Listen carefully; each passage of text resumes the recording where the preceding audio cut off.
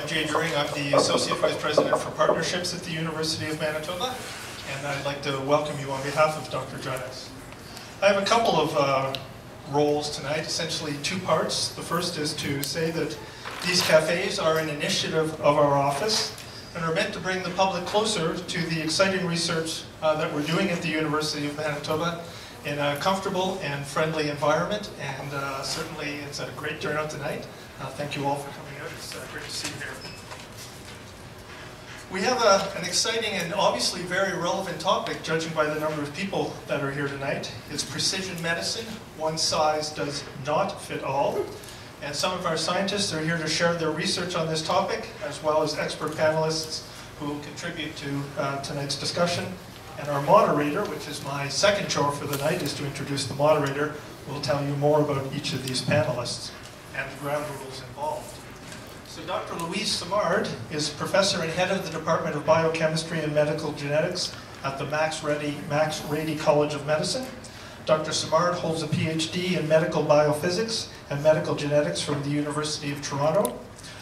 Her research focuses on spinal muscular atrophy, otherwise known as SMA, and we all knew that, the most common monogenetic cause of early infant disease. Her research laboratory has made contributions in the area of SMA genetics and translating this knowledge to DNA diagnostics and better patient treatments.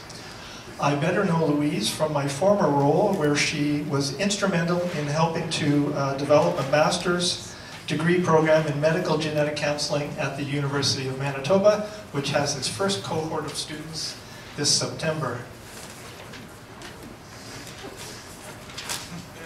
Eventually find my way to the end here.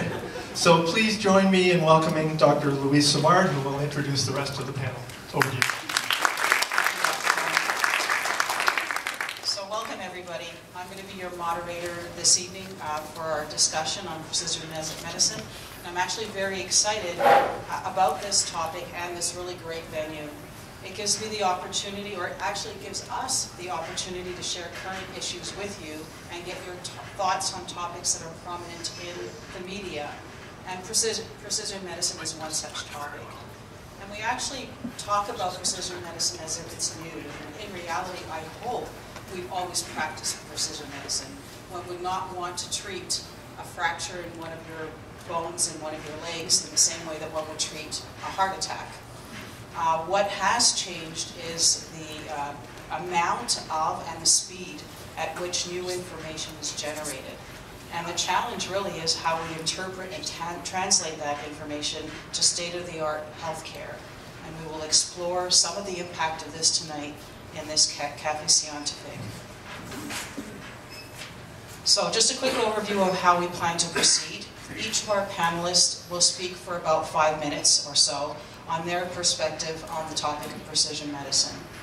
After all the panelists have spoken, I will open the floor up for discussion or questions. I will be passing around this wireless mic so that everyone can hear your questions and that we can hear the answers to your questions.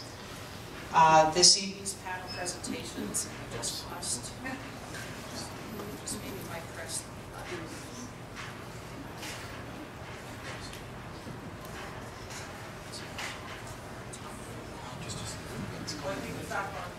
It looks like it's back on.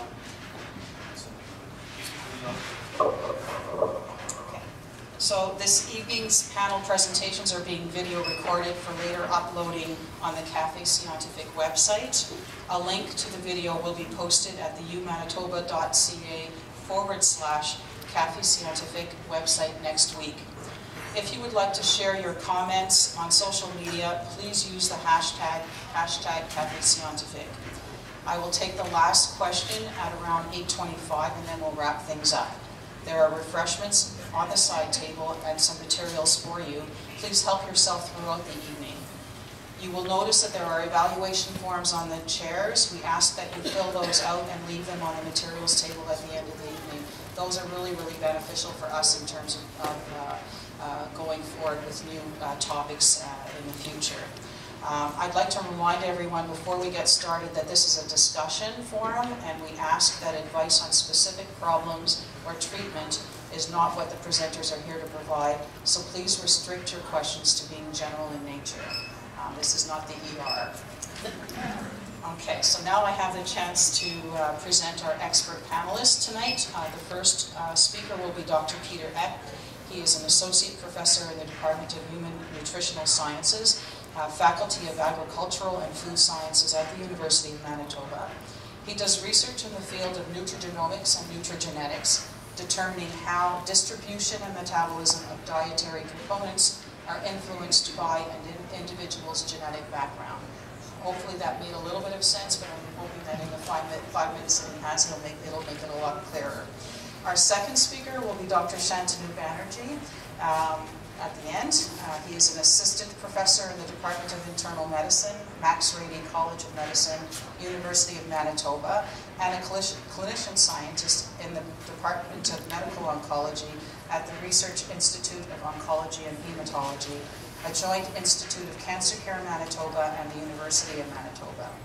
His research involves the identification of new gene targets in cancer using next generation DNA sequencing technology. And finally, in the center is Dr. Geoff Hicks. He is a professor of biochemistry and medical genetics, that's my department, and the director of the regenerative medicine program at the Rady Faculty of Health Sciences. He is also a senior scientist uh, at the Research Institute of Oncology and Hematology, a joint institute of the CancerCare Manitoba and the University of Manitoba. His current research focus is on fetal alcohol spectrum disorder, FASD, and discovering the genetic variation between individuals that might biologically protect or sensitize an individual to developing FASD. Now, this might sound a little bit intimidating, but we're actually very friendly people, and we really hope that we have uh, an enjoyable evening, and I'll turn this over to Dr. Eck. Yeah, thank you. Okay, so thank you for your introduction, but I don't think I want to make it as specific as you said. I think I think I'm here more for in what we call public health genetics, which actually has the vision that if you go to your doctor, you will get a blood sample taken, your DNA will be extracted, you have some sort of genome scan, and based on that, it will be predicted what diseases you will get. Based on that also, it will be treated or it will be, there will be intervention developed. So in my, um, for my case, I'm in the nutritional science department, that would be that we find out what predicts, what, what um, actually predisposes you to disease and I want to do a dietary intervention, meaning we want to uh, prevent a disease using the diet. So that's what it boils down to. Now, in that regard, you probably all have realized that we are not there. We don't give our DNA to a doctor and there will be no prediction at the current stage. So I'll, I'll be here to discuss why that is and how that is. And um, uh, I have done nutrition in the first place, but I had done research in genetics since 2000, and that's where really we started to have this research taking off because the Human Genome Project was completed. We developed a lot of methodology to find associations from diseases with uh, specific genetic variations. So now the question is how do we apply that? Can we apply that today to predict the disease or can we not apply that today? In my case, we usually work with complex diseases where we have an environmental component, aka the diet, which I'm researching, and we also have a genetic component, which is complex, meaning there's not one variation that will determine a disease. There will be hundreds have to come together. So in that regards, that's what we're working with. So we now try to, since the 2000s, we try to determine what are these variations and how do they come together. So that's where we are right now. That's, and I want to advocate where we are right now. We need more research. I hope I will question, get questions about what, where we are exactly, what we need to do, because there are, is situations out there where people try to apply genetic knowledge by, by um, uh, on you know today, and uh, so I will have a perspective about how we can apply today, how we will apply it in the future. So I have a few examples. For example, early research, we found associations, but we didn't know what they mean. Now we make sense of associations, what they mean. We are almost there, but not there, so I'm looking forward to discuss that with you guys. Yeah. Hi, I'm uh, Shantanu. I'm a uh, medical oncologist, which means uh, I'm the type of doctor you don't want to see. Um, but uh, in all fairness, we know that uh, cancer is becoming a far more common diagnosis uh, than it used to be in the past, mainly because of the aging of our population and the diseases that come associated with that. Um, as an extension of what Peter just mentioned, which is that as we learn more about genes and understanding the context of uh, genes and what role they play in uh, therapies and informing our precision therapies, uh, what I will say is that in the field of cancer, uh, we have, uh, at least for the last few decades, uh, been perhaps a step ahead in terms of the application of these tools and this knowledge to actual patient care. Um, so uh, Louise made the point early on that uh, medicine has been about the practice of precision medicine since its existence. Initially, it was with sort of cruder tools of a physician making a broad diagnosis that you have heart disease versus lung cancer versus whatnot, to, in sort of the middle portion of this century, distinguishing between types of cancers, between lung and breast and prostate, to now with the technologies that are available to us, diving down into the molecular level and saying, okay, this isn't just breast cancer, but this is a breast cancer that responds to hormone therapy, or that this is breast cancer that has certain genetic mutations that predicts a response to certain drugs, or to take a step back and say that this individual has genetic mutations that might be prognostic of them getting a disease in the future. Um, so I'd be happy to entertain questions that pertain to those uh, and healthcare in general uh, as we go forward. I'm Geoff Hicks. Uh, so I'm going to bring another uh, flavor to this discussion today. It's an application of genomics and genetics uh, and precision medicine to a new disease, a new disorder, fetal alcohol spectrum disorder. So this is an umbrella of uh, neurodevelopmental disorders that all have exposure to alcohol during pregnancy as a common link. Uh, we, the prevalence of this uh, disorder is actually very common. It's the most common neurodevelopmental uh, disorder uh, in Canada today. It has a predicted prevalence rates of uh, about 1 to 2 percent. That's really high. Uh, so for example, if you were to go into any Winnipeg school uh, any classroom, there's about a 50-50 chance there's two children with FASD in that class. So the impact of this is really big. Uh, it can be measured in dollars, $6 billion a year for the Canadian healthcare system, but really we measure it in um, outcomes of those children and their families, which is uh, currently pretty bleak, uh, or can be. Uh, diagnosing it is very complicated. I wish we had uh, simple tools, and that's where I come into the story. But uh, because of the nature of the disease, there's very little phys physical evidence usually. Usually it's uh, changes in brain or your central nervous system or behavior or uh, learning. And this requires a really strong team of clinicians and specialists to make that diagnosis. So often only 15% of children we believe that have FASD get a diagnosis and the rest are left untreatable. So we do know some things about FASD. You have to have that early insult uh, exposure to alcohol, and I'm sorry to say we don't know what the safe level is. Uh, it, it's in the context of a number of risk factors. Many of these are social, economic, they can be nutritional, they can even be high levels of uh, domestic stress. Uh, and it's really when all these combinations lock into place, one child may be susceptible and get FASD.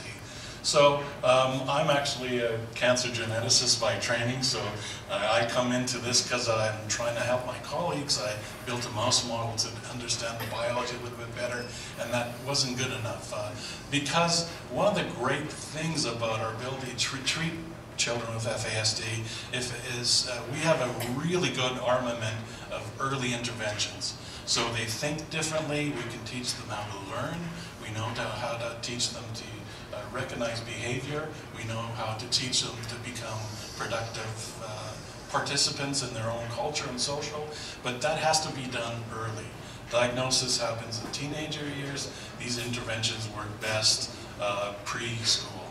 So thinking like a geneticist, I realized uh, that this is, this is a disorder that has uh, huge uh, environmental impact, insult, the alcohol. I know genetics plays a role in this, so we can maybe look at these small changes and identify uh, signatures that, that make people more susceptible or perhaps protect them. And I know something new, epigenetics, uh, which is the way, not the genes or the code, uh, but the way those genes are expressed. So this is where it gets a little complicated, and I don't want you to stop listening. So I'm going to try to connect with you here. Okay. So who's a fan of The Voice? Singing shows in general? My wife is a huge fan. So I think a good way to think about how all these things fit together is a, a singing contest. So genes are things we can't change. We have changes, small changes, differences between us, but it's like the notes of the song or the words of the song. We can recognize them, we can give them names. Uh, and we, as I said, we as individuals can't change that. How they're sung, uh, how the genes are expressed is the epigenetics. And there's many marvelous ways our body can adapt to change the program uh, embedded in our, our DNA code. And so that's epigenetics over genetics. And in the singing contest, you can, you can participate every time you watch this. Somebody misses a note, you can tell right away. If somebody misses the words, you know it. Uh, so that's how we try to find genetic changes. In the game, everybody tries to sing the song completely differently from everybody else. Uh, and that's the epigenetics of it. And as I said, uh, this happens to our genes and our experiences. And, and, um, and so it's, it's, something that does change within us. And we look, try to put this all together. So there's not going to be one gene, one mutation, one change, one change in expression that is going to cause FASD or other diseases. It's really a signature profile of this. And what I mean by that is you can think of the people who win the voice or the very best of our singers or famous singers. Uh, you, uh, it's how, how they actually sing songs. So you never can mistake Bing Crosby from Janis Joplin, right? That, that, that, that's a signature. It's not random the ways they sing songs. It's, it's a signature uh, of themselves. And that's really what we're trying to look for.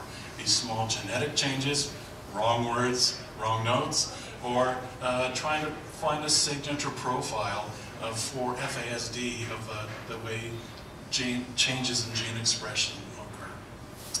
And the impact is, is that will make this code, we'll make this signature thing uh, that can be used in the clinics and now really give the clinician as a tool to make early diagnosis uh, or, or, early assessment of risk. I think we're a long way from using these tools for diagnosis for complex diseases. Uh, but in terms of being able to have a risk assessment that this individual child may benefit from early interventions of the programs that we know are really effective for children who develop FASD, that's, that's our goal. Uh, and I'm really excited to tell you this is a program that, that's uh, maturing in, in the lab.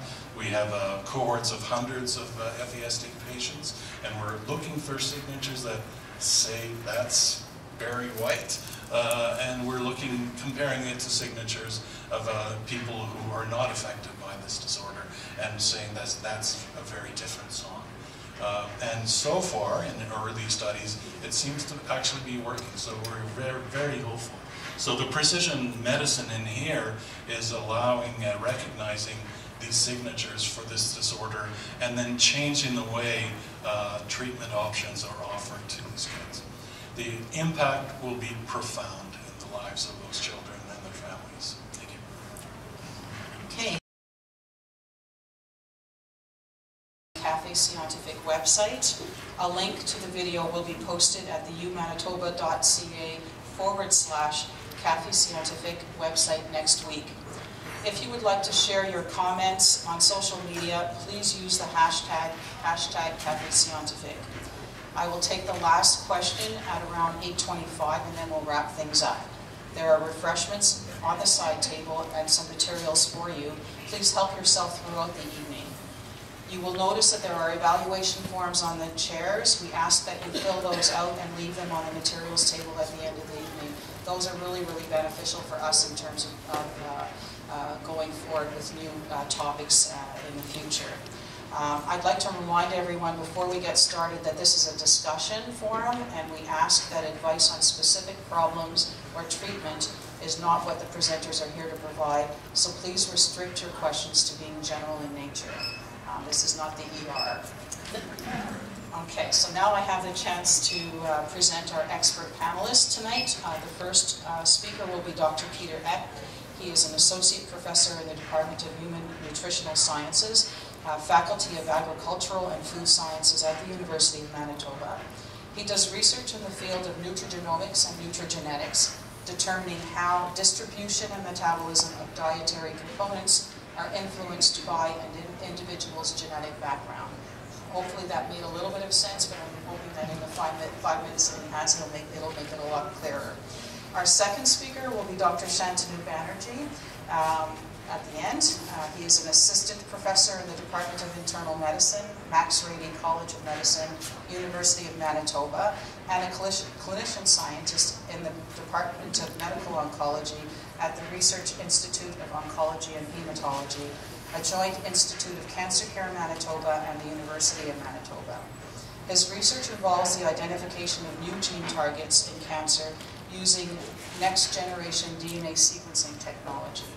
And finally, in the center is Dr. Geoff Hicks. He is a professor of biochemistry and medical genetics, that's my department, and the director of the regenerative medicine program at the Rady Faculty of Health Sciences. He is also a senior scientist uh, at the Research Institute of Oncology and Hematology, a joint institute of the CancerCare Manitoba and the University of Manitoba.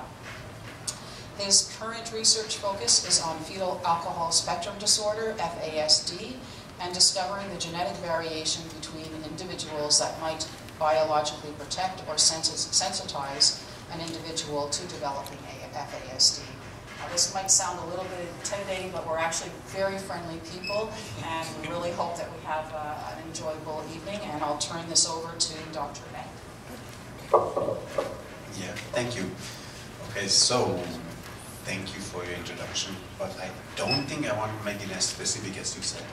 I think I think I'm here more for in what we call public health genetics, which actually has the vision that if you go to your doctor, you will get a blood sample taken, your DNA will be extracted, you have some sort of genome scan, and based on that, it will be predicted what diseases you will get.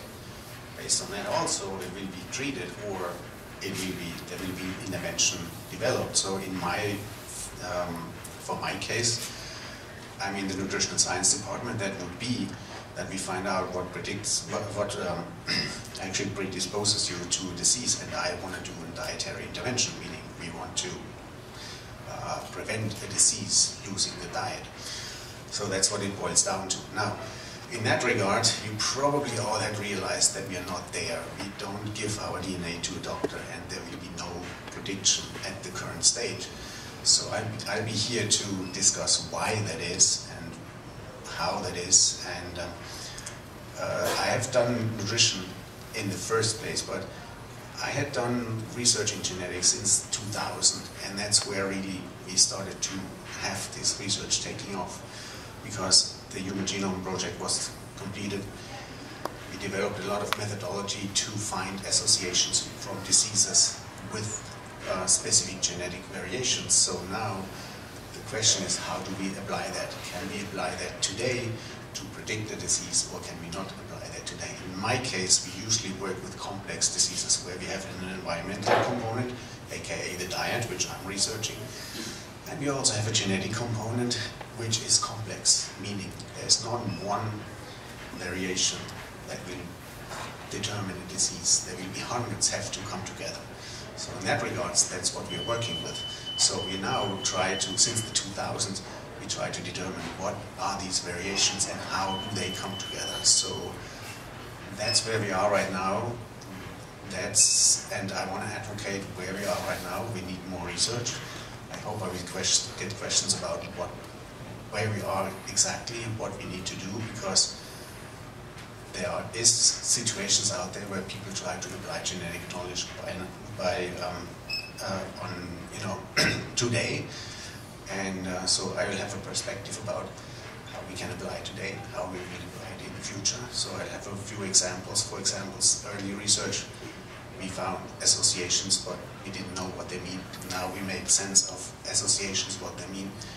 We are almost there, but not there. So I'm looking forward to discuss that with you guys. Yeah. I am uh, Shantanu. I'm a uh, medical oncologist, which means uh, I'm the type of doctor you don't want to see. Um, but uh, in all fairness, we know that uh, cancer is becoming a far more common diagnosis uh, than it used to be in the past, mainly because of the aging of our population and the diseases that come associated with that. Um, as an extension of what Peter just mentioned, which is that as we learn more about genes and understanding the context of uh, genes and what role they play in uh, therapies and informing our precision therapies, uh, what I will say is that in the field of cancer, uh, we have, uh, at least for the last few decades, uh, been perhaps a step ahead in terms of the application of these tools and this knowledge to actual patient care. Um, so uh, Louise made the point early on that uh, medicine has been about the practice of precision medicine since its existence. Initially it was with sort of cruder tools of a physician making a broad diagnosis that you have heart disease versus lung cancer versus whatnot, to, in sort of the middle portion of this century, distinguishing between types of cancers, between lung and breast and prostate, to now with the technologies that are available to us, diving down into the molecular level and saying, okay, this isn't just breast cancer, but this is a breast cancer that responds to hormone therapy, or that this is breast cancer that has certain genetic mutations that predicts a response to certain drugs, or to take a step back and say that this individual has genetic mutations that might be prognostic of them getting a disease in the future. Um, so I'd be happy to entertain questions that pertain to those uh, and healthcare in general uh, as we go forward. I'm Geoff Hicks. Uh, so I'm going to bring another uh, flavor to this discussion today. It's an application of genomics and genetics uh, and precision medicine to a new disease, a new disorder, fetal alcohol spectrum disorder. So this is an umbrella of uh, neurodevelopmental disorders that all have exposure to alcohol during pregnancy as a common link. Uh, we, the prevalence of this uh, disorder is actually very common. It's the most common neurodevelopmental uh, disorder uh, in Canada today. It has a predicted prevalence rates of uh, about 1 to 2%. That's really high. Uh, so for example, if you were to go into any Winnipeg school, uh, any classroom, there's about a 50-50 chance there's two children with FASD in that class. So the impact of this is really big. Uh, it can be measured in dollars, $6 billion a year for the Canadian healthcare system, but really we measure it in um, outcomes of those children and their families, which is uh, currently pretty bleak, uh, or can be. Uh, diagnosing it is very complicated. I wish we had uh, simple tools, and that's where I come into the story. But uh, because of the nature of the disease, there's very little phys physical evidence usually. Usually it's uh, changes in brain or your central nervous system or behavior or uh, learning. And this requires a really strong team of clinicians and specialists to make that diagnosis. So often, only 15% of children we believe that have FASD get a diagnosis, and the rest are left untreatable. So we do know some things about FASD. You have to have that early insult, uh, exposure to alcohol, and I'm sorry to say we don't know what the safe level is. Uh, it, it's in the context of a number of risk factors. Many of these are social, economic, they can be nutritional, they can even be high levels of uh, domestic stress. Uh, and it's really when all these combinations lock into place, one child may be susceptible and get FASD. So um, I'm actually a cancer geneticist by training, so uh, I come into this because I'm trying to help my colleagues. I built a mouse model to understand the biology a little bit better, and that wasn't good enough. Uh, because one of the great things about our ability to treat children with FASD if, is uh, we have a really good armament of early interventions. So they think differently, we can teach them how to learn, we know how to teach them to uh, recognize behavior. We know how to teach them to become productive uh, participants in their own culture and social, but that has to be done early. Diagnosis happens in teenager years. These interventions work best uh, preschool. So thinking like a geneticist, I realized uh, that this is, this is a disorder that has uh, huge uh, environmental impact, insult, the alcohol, I know genetics plays a role in this, so we can maybe look at these small changes and identify uh, signatures that make people more susceptible or perhaps protect them. And I know something new, epigenetics, uh, which is the way, not the genes or the code, uh, but the way those genes are expressed. So this is where it gets a little complicated, and I don't want you to stop listening. So I'm going to try to connect with you here. Okay. So who's a fan of The Voice? Singing shows in general? My wife was a huge fan. So I, think a good way to think about how all these things fit together is a, a singing contest. So genes are things we can't change. We have changes small changes, differences between us, but it's like the notes of the song or the words of the song. We can recognize them, we can give them names. Uh, and we, as I said, we as individuals can't change that. How they're sung, uh, how the genes are expressed is the epigenetics. And there's many marvelous ways our body can adapt to change the program uh, embedded in our, our DNA code. And so that's epigenetics over genetics. And in the singing contest, you can, you can participate every time you watch this. Somebody misses a note, you can tell right away. If somebody misses the words, you know it. Uh, so that's how we try to find genetic changes. In the game, everybody tries to sing the song completely differently from everybody else. Uh, and that's the epigenetics of it. And as I said, uh, this happens to our genes and our experiences. And, and, um, and so it's, it's something that does change within us. And we look, try to put this all together. So there's not going to be one gene, one mutation, one change, one change in expression that is going to cause FASD or other diseases. It's really a signature profile of this. And what I mean by that is you can think of the people who win The Voice or the very best of our singers and famous singers uh, you, uh, it's how, how they actually sing songs. So you never can mistake Bing Crosby from Janis Joplin, right? That, that, that, that's a signature. It's not random the ways they sing songs. It's, it's a signature uh, of themselves. And that's really what we're trying to look for. These small genetic changes, wrong words, wrong notes, or uh, trying to find a signature profile uh, for FASD of uh, the way gene changes in gene expression.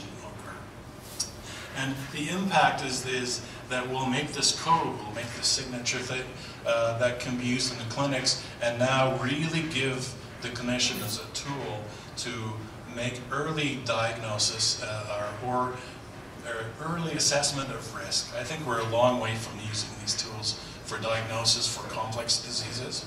Uh, but in terms of being able to have a risk assessment that this individual child may benefit from early interventions of the programs that we know are really effective for children who develop FASD. That's, that's our goal. Uh, and I'm really excited to tell you this is a program that, that's uh, maturing in, in the lab. We have uh, cohorts of hundreds of uh, FASD patients, and we're looking for signatures that say that's Barry White. Uh, and we're looking, comparing it to signatures of uh, people who are not affected by this disorder and saying that's, that's a very different song. Uh, and so far, in early studies, it seems to actually be working, so we're very, very hopeful. So the precision medicine in here is allowing, recognizing these signatures for this disorder, and then changing the way uh, treatment options are offered to these kids. The impact will be profound in the lives of those children and their families. Thank you. Okay, expertise that you have with you tonight, and hopefully that will allow us to address a large scope of questions that you might have. And really the intent is not for us to take up all the time, but really to have a discussion with you and really explore your ideas or your questions that you have about precision medicine. This mic is not for me, it is actually for all of you. And if you have a question, I will uh, pass on the mic and uh, we'll carry on.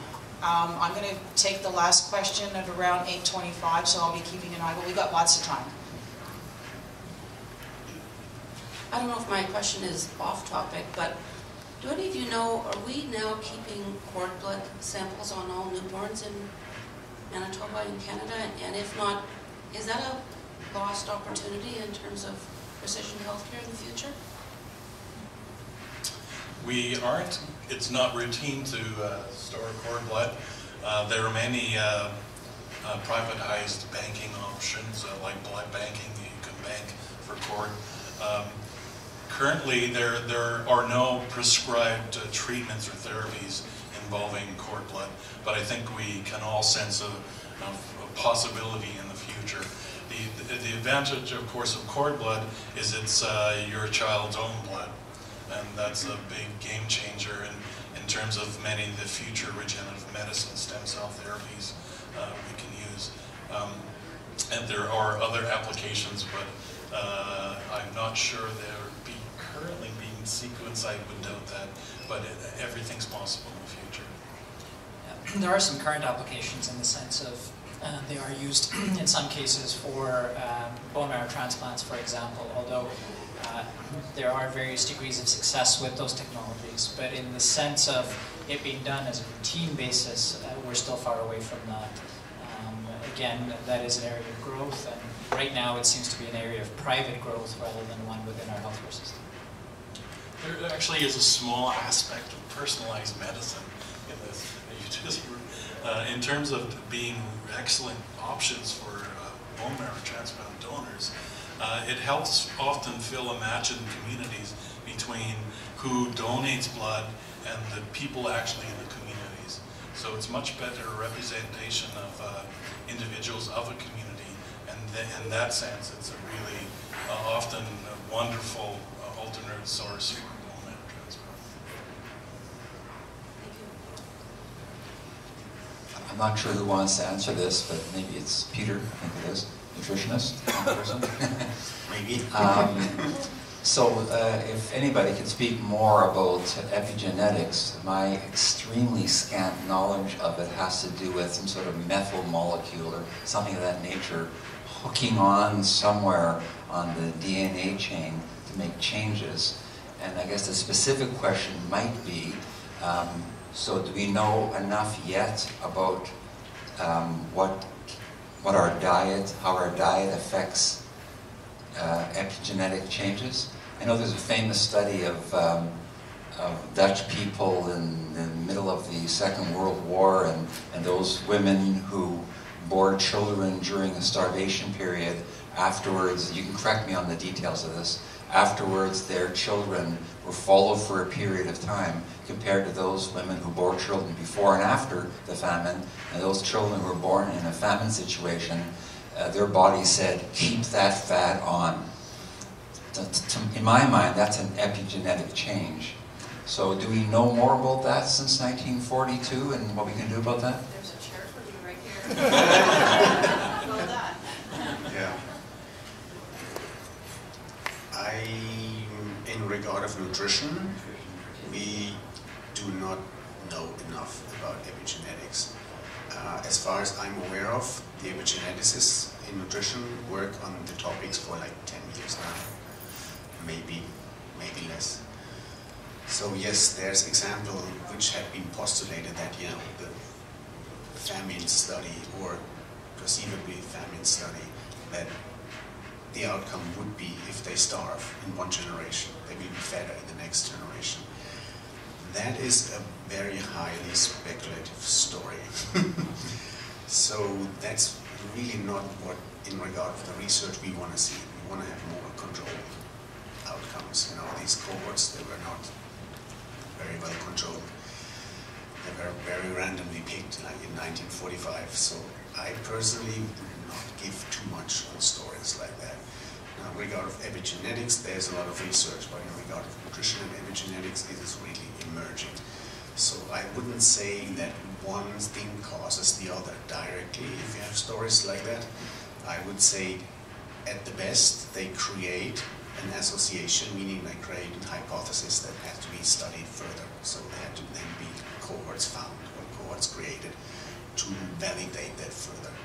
But in regard of epigenetics and validation, in regard of nutrition, what you have to do, diet, what you have to do specifically to be better off, or if, so your offsprings are better off, everything is very speculative. At the moment, we create hypotheses, we don't validate or prove hypotheses. So that's where we are. I'm not sure if you want to say something. You're an expert on epigenetics. I can always, I, Yeah.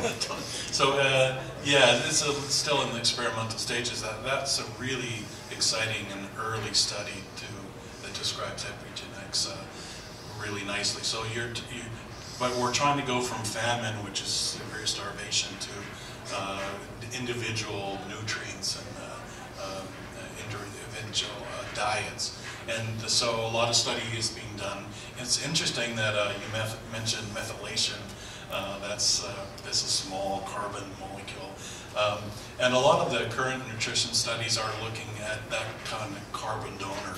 So things like choline, folates, these are uh, nutritional dietary uh, constituents that are big in st- current studies uh, looking at the effects because it's kind of a double whammy. It's the, the source of the marks for uh, epigenetics, uh, and then you can trace the genes that are expressed differently. So a lot of uh, uh, work is going both uh, at the bench level and in the clinics, uh, studies such as you mentioned.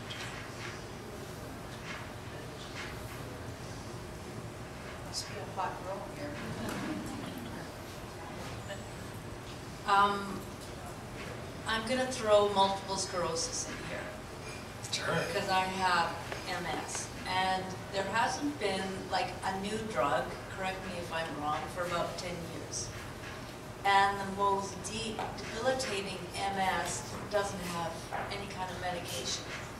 And I have a friend that has MS, and she has a twin that doesn't have MS, and that's common. So I'm wondering why, and I said, you know, they must be studying the shit out of you. And they said, no, but they have identical genes, twins, don't they? So why, why aren't they comparing in twins, one that has multiple sclerosis and one that doesn't have MS? Like, I think Manitoba has the highest rate of MS in the world. So it's, yeah. So I don't know if anything's happening in genetics with multiple sclerosis, but it's really frustrating if you haven't heard of a new drug in ten years. And nothing cures MS, it just offsets your relapses? So you you actually bring up some interesting points.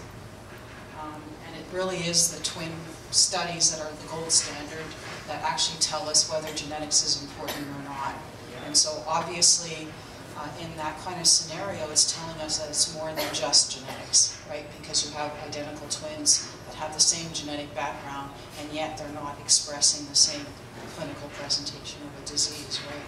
So we do use them, but the number of twins that are available that have one twin with MS and one without MS are not that many, so it makes it very difficult to really exploit that richness of information to really use that to learn something new.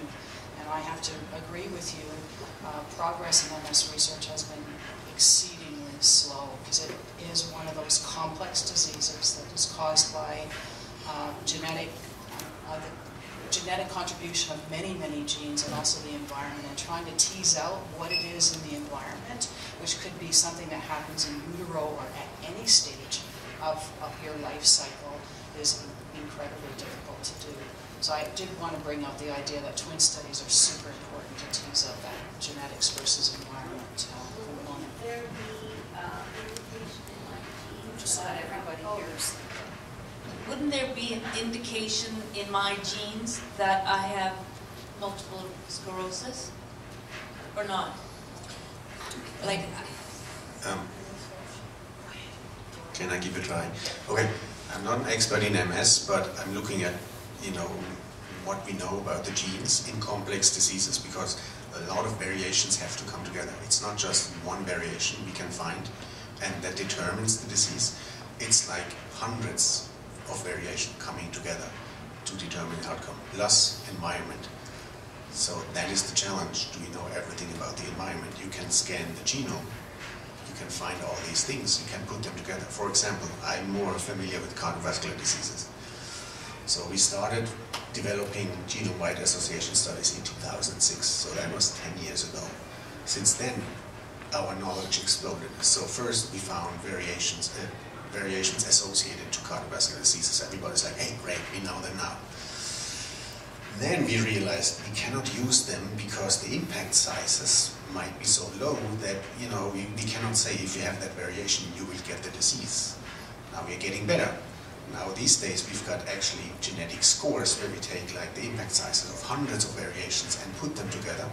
And there was a very nice example for cardiovascular diseases just a few months back published where they put these scores together and then they applied it to people they had in a cohort for years and years where they knew the genetics.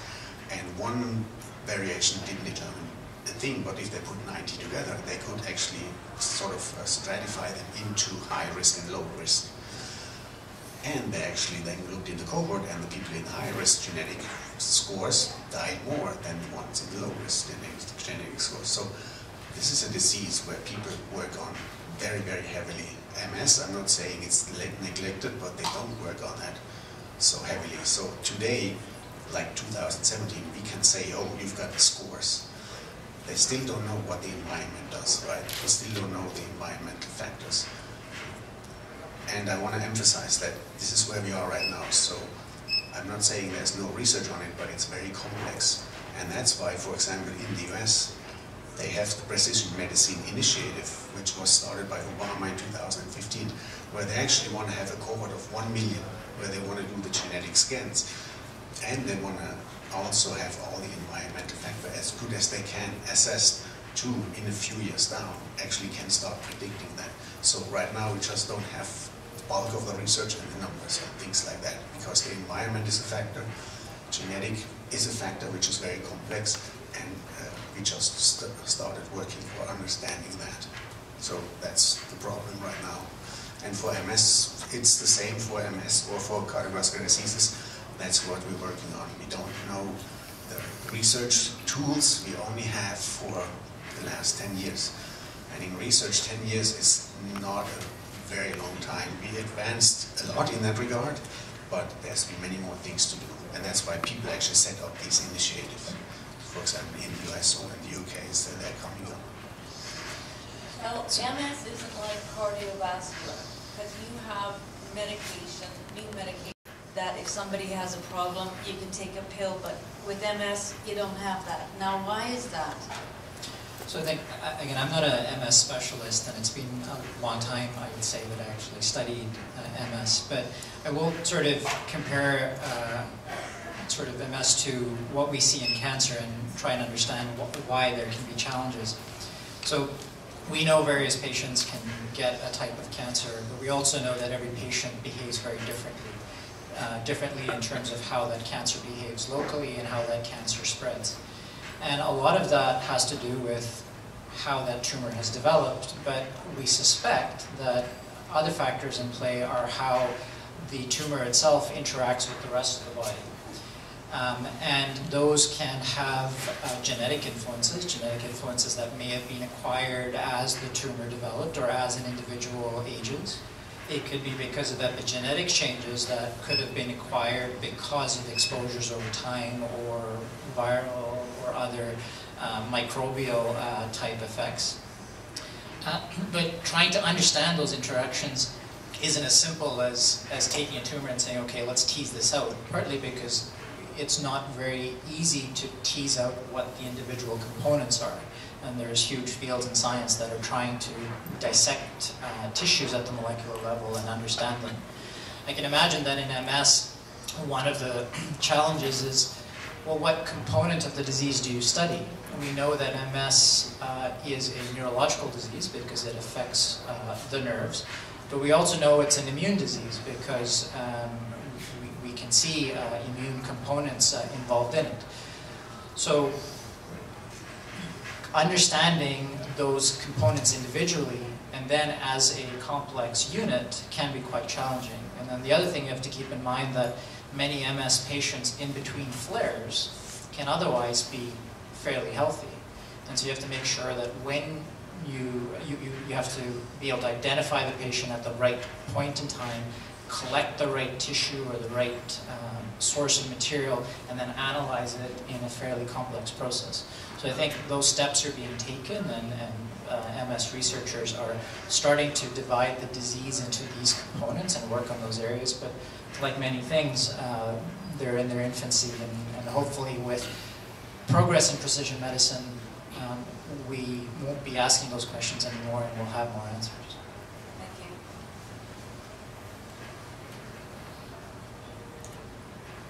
I just also wanted to add that we talked about the hundreds of genes and what's important to understand is the 100 genes that might be working in one individual, the next individual might be using a different set of 100 genes in order to, to, to present with that disorder. So that really uh, amplifies the complexity of what's going on. And so comparing even siblings in the same family for autism spectrum disorder, the composite of genes that are contributing to their disease will be different. So it just is incredibly difficult and a challenge. We're making progress, but it's all, I would say, baby pieces, and it will take us a bit of time before we get there. Hi. Um, I was uh, found that I, in 1996, uh, I discovered uh, through a test that they did, uh, because I wanted to get a job at something, they discovered that I had a click in my heart. So at that time they did a study, uh, they did a scans and all that, and they discovered that I had a congenital defect. I had uh, two flaps fused together and, and one, so I didn't have the three of them working. So they called it a congenital heart defect. Interestingly, I found out later also that I was one in a million because it doesn't run, this particular one I have doesn't run in families. It's caused by outside sources or things that are so on. I was conceived in 1945, right about the time they had the Nevada tests. And there was a swath of radiation that went up through and, and down through northern Manitoba, where I was conceived at that particular time. My sisters don't have it, no other members of my family don't have it, so I was considered one in a million of one somebody that would have that type of defect. I'm just wondering if any studies have ever been done in regards to nuclear uh, deformation or, or, or uh, radiation and so on in, in birth defects that are around maybe that time, 1945. So the, the quick answer is yes. Um, we, we do know a lot about the association between radiation and um, the development of DNA mutations and how those DNA mutations can ultimately lead to other effects such as uh, health uh, issues, congenital health issues. Um, the, so, so we, we know that it's a big risk factor for developing congenital issues. We know that it can be a big risk factor for developing diseases later in life, and cancer is a perfect example. Uh, and it doesn't necessarily have to do with radiation per se uh, as an entity. Um, it can broadly be encompassed in the term that we use as carcinogens. So carcinogens broadly is anything that can contribute to, um, in some cases, genetic changes or gene mutations that ultimately uh, lead to um, downstream effects or effects later in life. Um, so for cancer, we know it's things like radiation exposure, whether it's from artificial sources like um, nuclear development or natural sources such as solar radiation. Um, we know that there can be other exposures such as uh, carcinogens in diet. We know that uh, smoking is by far the biggest risk factor. Um, and, uh, and we can go sort of on and on.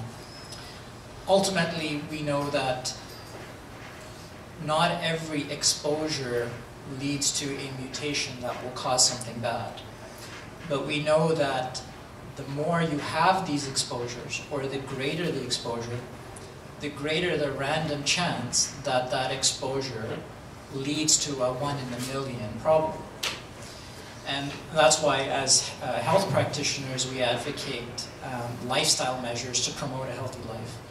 And we're not doing it because we're guaranteeing that that individual's life will be healthy.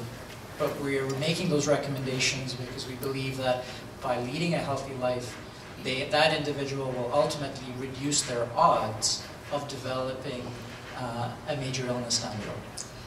I just wanted to say the reason I'm asking this question is up until that day in 1996, I was leading a very healthy life. I didn't smoke, I didn't drink, and I was, you know, I was I'd done lots of different things that would have uh, required a lot of work on the heart. But it was decided from that particular one CT scan that I was to uh, be monitored for a while, and then all of a sudden they made a decision in, in uh, 2015 to, to go in and, and, replace it with a, with a, with a, a valve and, and a new portion of my aorta. But other, you know, if they had, had left it alone at that, that time, I think I'd have been still fine and not have these other things inside me right now. So uh, I'm just wondering, you know, how, how uh, one in a million congenital, and it wasn't congenital, you know, anything, any children I would have had wouldn't have got it. So it's just interesting. Have you ever come across that? well, not this specifically, but uh, you know what you're describing is a rare disease, uh, and given the uh, association you're making with uh, radiation as being uh, that suggests it's likely a rare genetic uh, change. Um, and it, I just wanted to make a comment that we're previously talking about complex diseases like neurological disorders, uh, cardiac uh, arrest, cancer, uh, but rare diseases using these tools we're talking about today, uh, we've been very successful at. So rare genetic diseases, Canada is leading in worldwide in discovering these with these tools of next generation sequencing and uh, with very small families or sometimes with a single patient. Because um, what you're likely describing or a possibility for your condition is a single base change in a single gene uh, that probably isn't well known or certainly not common. It's not common in your family either. So that's the kind of needle in the haystack that surprisingly or ironically we're really good at finding. So uh, there, uh, the hope for rare diseases is really turning around, and this is Canadian-led uh, research. Um, and it's possible in the near future or the future to actually at the base pair level, you know what caused your Yeah, I was thinking if anyone, uh, any more showed up for that area, you'd have your direct cause coming from Well, Nevada. that, that's how we validate, right? So, Thank you very much. thanks for sharing your story.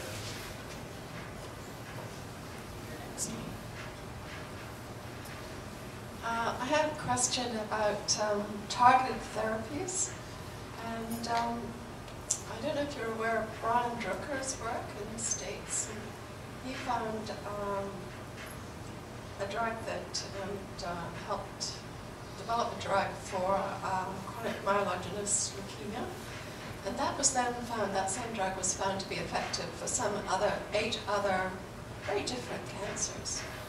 And um, that just seemed to me quite extraordinary. I don't know that they're, um, you know, these are genetically acquired uh, cancers, but um, I just find it very interesting that the same drug can be effective. And uh, these, these were all approved by the FDA very quickly because they were so effective, which is a wonderful, hopeful story. Thank you. Thank you for asking that question. It got me very excited. um, so the, the, specific example uh, you raise is uh, sort of commonly known as the Philadelphia chromosome. So the Philadelphia chromosome is a very specific translocation. This isn't, uh, this isn't, let's say, a gene that someone is born with. Uh, it is uh, one that through random mutations that typically occur in someone's blood or bone marrow that rather than that individual developing healthy blood cells, um, they develop what are called leukemic cells, so cells that um, grow faster than we otherwise would hope they grow, or, and also die slower than you would expect them to die. And they accumulate in the bloodstream, and when, when our body gets more of something it's not supposed to have, it doesn't behave well. Um, in that particular situation, this uh, gene translocation where one gene is sort of flipped around and gone completely somewhere else in the genome, um, it resulted in a protein in the cell, a, protein that's normally supposed to be in the cell, to pr be produced at a much higher level than it ever should have been produced. And that protein falls into a category of what we call our kinases. And uh, kinases broadly, and, and, and I'm sure people to the right of me know a lot more about kinases than I do. But there, there, are lots of different types of kinases, and molecular biologists of time have narrowed them down to certain groups. And I believe there's something like 400 plus or minus a couple hundred kinases out there. And in the Philadelphia chromosome, the specific kinase is known as the Abelson kinase. Was, uh, I'm sure there was an Abelson, and then uh, I should know my history better. Um, and, um, and so the Abelson kinase is what the drug imatinib, or Gleevec, was developed against. The interesting thing about kinases is that they are part of sort of like a family tree. Um, there are kinases that belong to some families, there are kinases that belong to some um, cultures, there are some kinases that uh, belong to some continents, sort of, they, they, all link together, but they, they have uh, separated and evolved over time. And what we've learned is that many kinases have very similar structure. They have completely different roles, but they have similar structure. And um, what was interesting about the drug Gleevec is that it was what it was developed to the Abelson kinase, but in reality it bound to a number of different other kinases, uh, even though it wasn't specifically generated. And because of that, what we call dirtiness of the kinase, it was found to be beneficial in a number of other diseases. Um, I commonly treat a type of cancer called gastrointestinal stromal tumor, which is a, a cancer that can develop anywhere in someone's gut, um, and at any time in your life. And it works fantastic. Um, but the problem of having a drug that targets eight different diseases is that it can probably also target more healthy conditions than you would like. And so these dirty drugs um, also have more side effects than, let's say, a cleaner drug might have. And so while my, my patients may benefit from these drugs, we also have to manage side effects of these drugs. And so the newer age of precision medicine in cancer is learning about more about these molecules and saying, we know that um, the mutation, this molecule looks a little different than it otherwise would if it's not mutated. So maybe let's uh, design a drug that's more specific to the mutation. By doing that, hopefully it'll have less toxicity, but the flip side of that is it'll likely work in fewer people and fewer diseases because it's more specific to that, that entity. So that's a really long answer to uh, some um, major breakthroughs that have come uh, in the last few decades. Um, I was just sitting when you were talking about me going to the doctor's office and having my blood taken and my DNA analyzed and finding out the predisposition of all the, dis- excuse me, the diseases that I could get. I wondered whether or not I'd want to know that. and number two, what the implications would be for insurance, employment, and any other childbearing things that I might have in mind. I'm just wondering if anybody has any comments Well, on the- those. when we were briefly preparing for today, uh, that was one of the big, uh, most exciting discussions we had. And I, I think, not to hand it off, but Peter, you, you had the most colorful uh, example, so, Yeah. but would you like to say? Yeah. In some regards, you do want to know it. In other regards, you don't. There's things we know about where we can do something about. And there's things we know about where we can do nothing about. So, what's it going to be? So, that's always the conundrum to decide. So, if you do a scan and somebody's analyzing that, you've got to be aware of that, right? What do you tell the people? Like we discuss it all the time. Do you tell the people, oh, you've got a mutation? It is just going to be really bad for you, and we cannot do anything about it. So sometimes in research, you come across that. So what a lot of researchers say, we don't want to say, tell the people that because you know we research a different area of the genome, but we found that by accident, and we know this is really bad. So do you want to know about it, or do you not want to know about it? So you as a person, you can decide: do you want to know about it, or do you not want to know about it? Because sometimes you've got something you can actually basically predict what it's going to be, and you can then do something about it. For example, Angelina Jolie, right? Prime example. Everybody says it was very clear from her family history there's something going on. She did a scan for that specific gene. She found she's affected as well, and she took measures. She took her breast tissue out and her ovaries out, and that takes care of that. So that's something where you could some, do something about it, but there's many other things where we probably cannot do anything about it because that's how it is. So that's always the discussion. Do want to know something about it? Well, the other thing is, should it affect your employment state, your insurance state, your whatever? It shouldn't because that should be private. That should be something you should know and nobody else should know. Maybe a counselor can know or something like that. But you know, in the healthcare care field, that's what it is. Your doctor can know and you can know, and this is between you and them. So there we go. Yeah. So, so I can add, add a co- couple comments to maybe bring comfort to your concerns. Um, the first is that currently in most of these genetic genomic studies, uh, the study is looking for something specific. So although all your genes are analyzed, it, only the ones in the study are looked for. So um, these other ones won't be actually even identified. Uh, and secondly, this is, uh, in terms of the insurance, this is a serious uh, outcome business as well.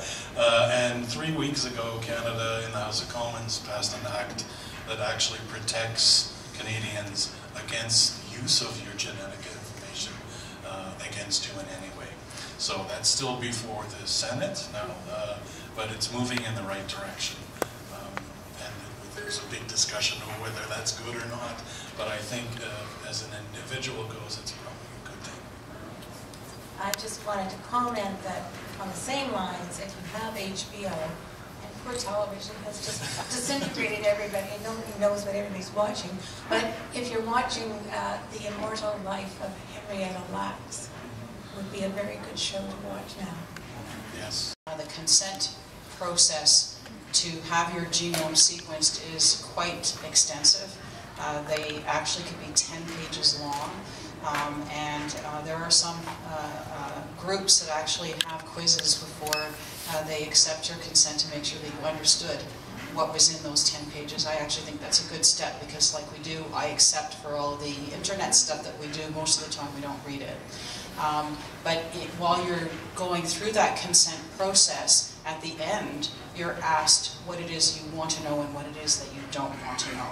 So really, it is in your hands. Now, we can't answer that question for you. You have to figure out exactly what are the, con- un- what, under what conditions do you want to receive that information?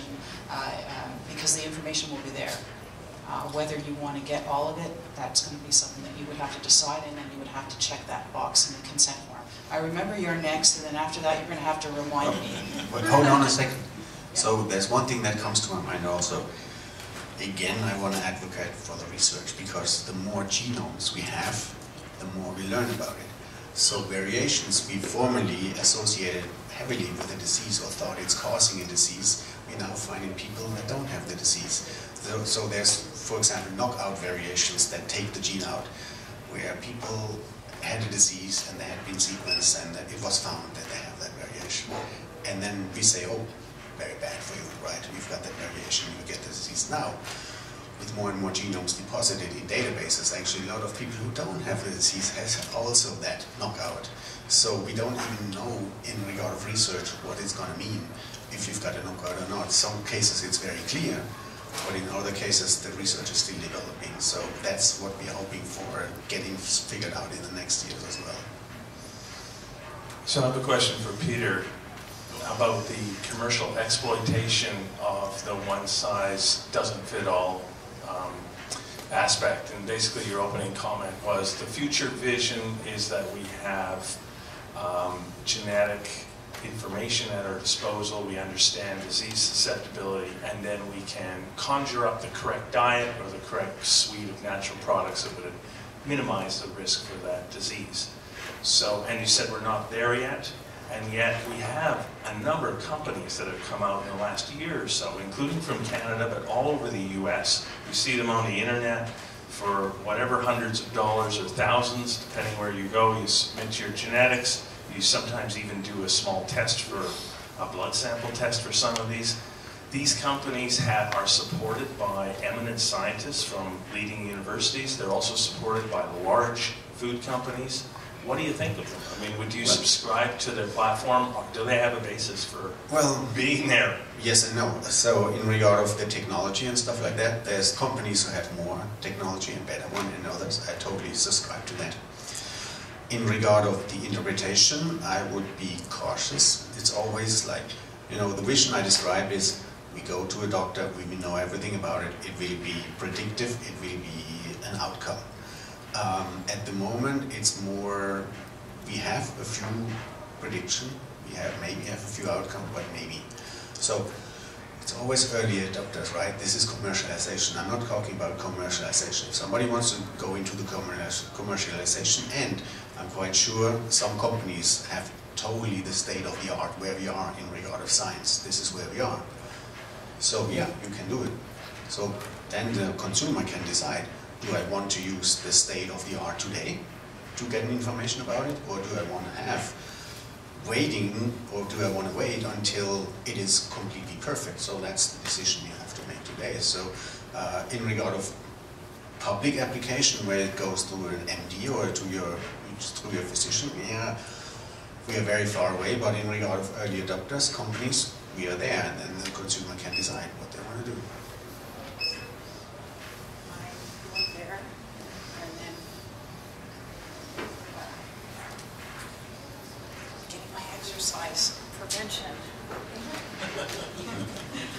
Hi, this is going towards the personalized, like personalized medication, uh, uh, medicine. About eight years ago, I was working in a company where we sequenced the uh, genome of a patient who wasn't responding to a particular cancer treatment, and they um, compared it to their tumor uh, genome, and were able to apply a medication that wasn't uh, typical for that disease, and it temporarily helped that, that patient. At that time, it took us about eight weeks, you know, full staff, overtime, man hours to complete the project, but I know now the sequencing is much faster. I was just wondering if you see a future in that type of personalized medication where you take a, a tumor and can find you know, specifics about it and then look for, because they, they found what mutations were and then looked to see what medications could be could be used on it. Uh, I was just wondering if, if in the last eight years, if that's advanced, if it's something that's um, in the coming up, or if it's just out the window, not possible. It's happening now in cancer. Yeah, it's, uh, so thank you for that question. Yes, it's, it's definitely a, a field that's rapidly advancing and uh, we've definitely uh, seen progression in that area and growth. We've also seen our share of setbacks in that area as well, like most research. Um, I think that, um, or I know uh, now that uh, in cancer, basically every patient that comes through the door will have some sort of profile now.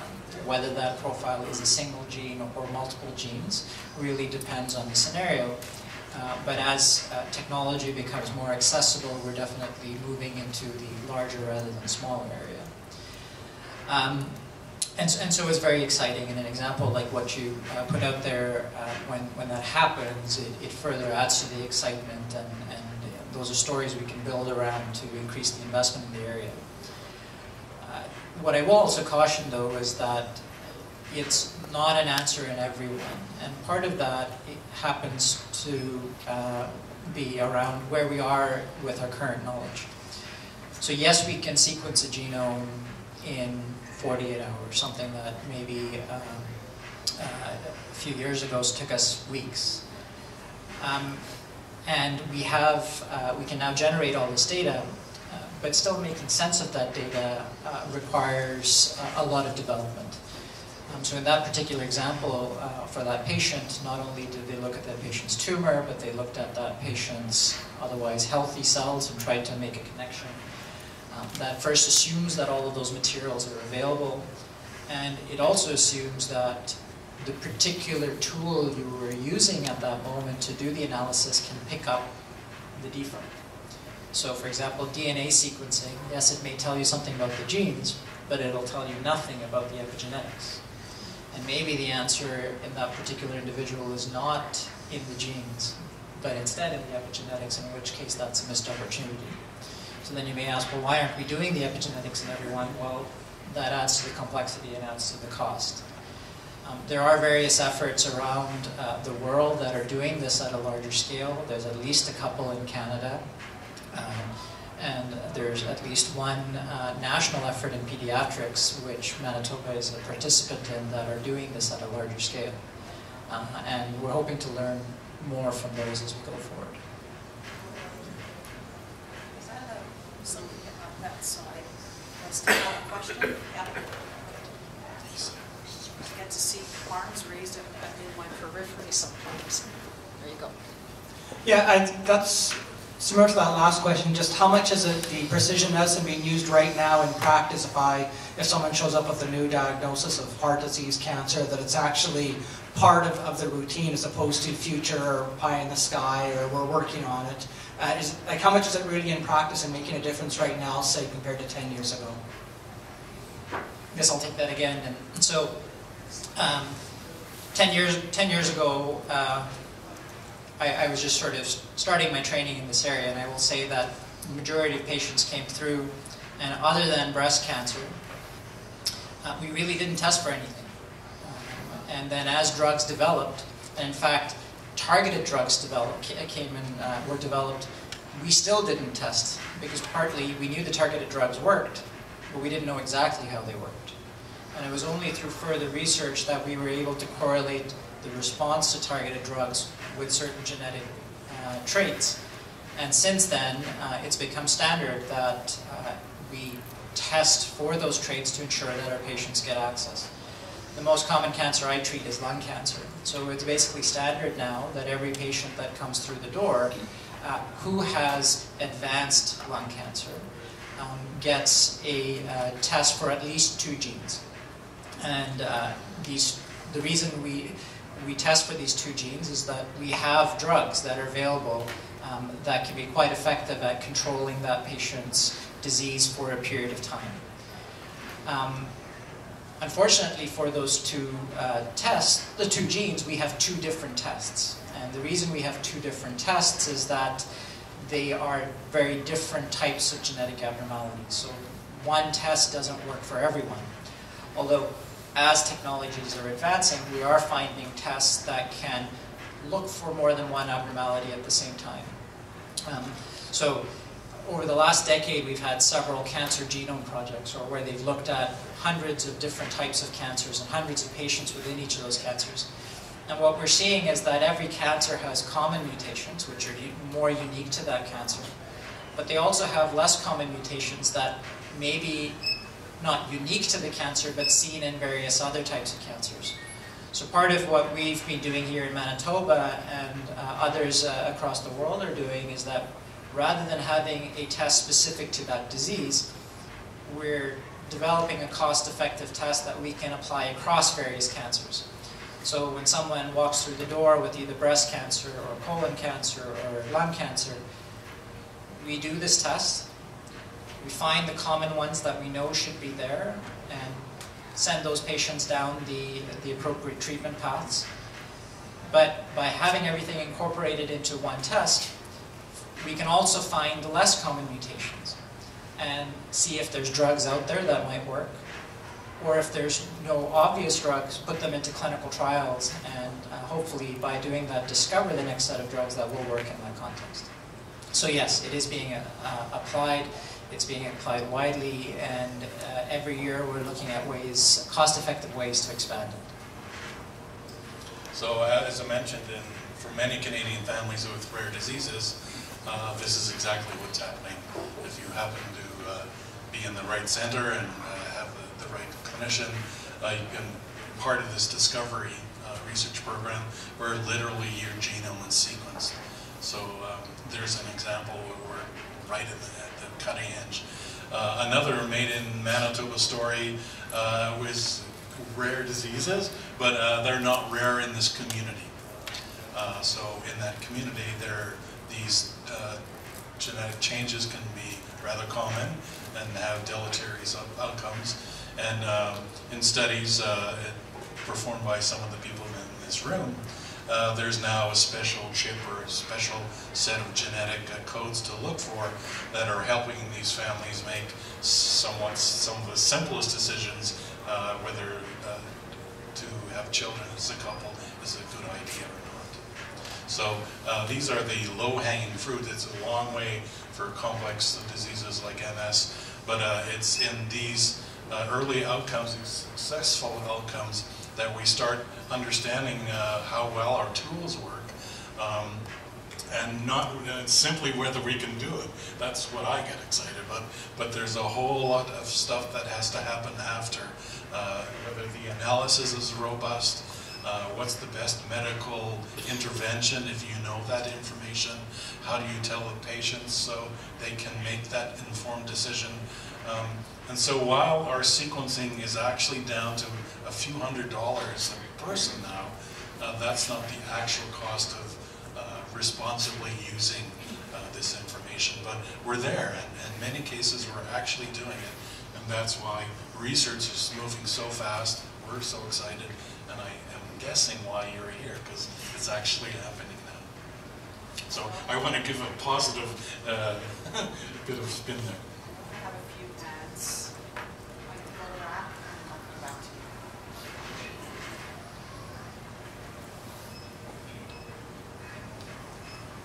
With a lot of chronic uh, diseases uh, on the uprise right now, is there a possibility of uh, genetics helping out with that? Like things like diabetes, hypertension, at some point when these genes could be kind of taken out of the system? Well, the, the short answer is yes. Uh, these studies uh, 10 years ago were actually uh, really in uh, full swing in something uh, Dr. Eck mentioned, genome-wide association studies. And what we learned from those genome-wide studies is the they're called complex diseases for a reason. We still don't have enough patients, enough information to be able to tease out the genetics for these complex uh, common diseases you're talking about. But we are moving closer. Um, and it's a bit of a numbers game. Uh, we're learning uh, as best we can from the so-called low-hanging fruit, the so-called simpler diseases. Uh, but uh, in Manitoba, yes, currently there are many studies moving forward with diabetes, uh, with heart disease, with FASD, and certainly it's in practice with cancer. So when would be the right time in an individual's life to have this intervention done? Uh, childhood or when the disease manifests itself? That's going to vary from disease to disease, but yeah, no, I, I, I think that's one of the big questions. We don't know the answer to that. Uh, partly because we don't know what the right intervention is yet. There's a lot of data that needs to be accumulated with that. Um, to, to, a point that uh, Peter brought up earlier, and the role of nutraceuticals and, and, and these tests that companies uh, have developed, a lot of the tests that are out there are suggesting an individual's risk they aren't necessarily saying if you have A, you will get B. But they may suggest that if you have A, B, C, D, E, and F, then you are at a higher risk of getting uh, a particular situation than someone who doesn't have that same combination. Um, so we're starting to see those signals, but it still means we need to start to tease out what those individual components are and how they interact and how they influence. And I think uh, those types of understandings are still in their infancy. Uh, and we need to do more work in not only looking at the genes and looking at the epigenetics, but tying that into um, more information about that patient's life and behavior and exposures to uh, develop a better understanding of how all these components interact and, uh, and ultimately developed into a disease. So I don't want to leave you with the impression that the more we know, the less we know. Uh, uh, these these uh, are actually moving forward. So that the kind of diseases you're describing, the kind of ability to have some sense of risk or predisposition does allow a change in the way we handle this and the way you handle this. So individuals have a choice to maybe address lifestyle changes that might mitigate that risk, whether it's real or not. Uh, uh, as well, uh, in many cases, the uh, frequency of checkups or the frequency of tests can be increased to just to be on the safe side now that there might be some evidence for that possibility. Expertise that you have with you tonight and hopefully that will allow us to address a large scope of questions that you might have. And really the intent is not for us to take up all the time, but really to have a discussion with you and really explore your ideas or your questions that you have about precision medicine. This mic is not for me, it is actually for all of you. And if you have a question, I will uh, pass on the mic and uh, we'll carry on. Um, I'm going to take the last question at around 8.25, so I'll be keeping an eye, but we've got lots of time. I don't know if my question is off topic, but do any of you know, are we now keeping cord blood samples on all newborns in Manitoba and Canada? And if not, is that a lost opportunity in terms of precision healthcare in the future? We aren't, it's not routine to uh, store cord blood. Uh, there are many uh, uh privatized banking options, uh, like blood banking, you can bank for cord. Um, currently, there, there are no prescribed uh, treatments or therapies involving cord blood, but I think we can all sense a, a possibility in the future. The, advantage, of course, of cord blood is it's your child's own blood and that's a big game changer in, in terms of many of the future regenerative medicine stem cell therapies uh, we can use. Um, and there are other applications, but uh, I'm not sure they're be currently being sequenced. I would doubt that, but it, everything's possible in the future. There are some current applications in the sense of Uh, they are used in some cases for um, bone marrow transplants, for example, although uh, there are various degrees of success with those technologies. But in the sense of it being done as a routine basis, uh, we're still far away from that. Um, again, that is an area of growth, and right now it seems to be an area of private growth rather than one within our healthcare system. There actually is a small aspect of personalized medicine in this. Uh, in terms of being excellent options for uh, bone marrow transplant donors, uh, it helps often fill a match in communities between who donates blood and the people actually in the communities. So it's much better representation of uh, individuals of a community, and th in that sense, it's a really uh, often wonderful uh, alternate source for bone marrow transplant. I'm not sure who wants to answer this, but maybe it's Peter, I think it is, nutritionist person. Maybe. Um, so uh, if anybody could speak more about epigenetics, my extremely scant knowledge of it has to do with some sort of methyl molecule or something of that nature hooking on somewhere on the DNA chain to make changes.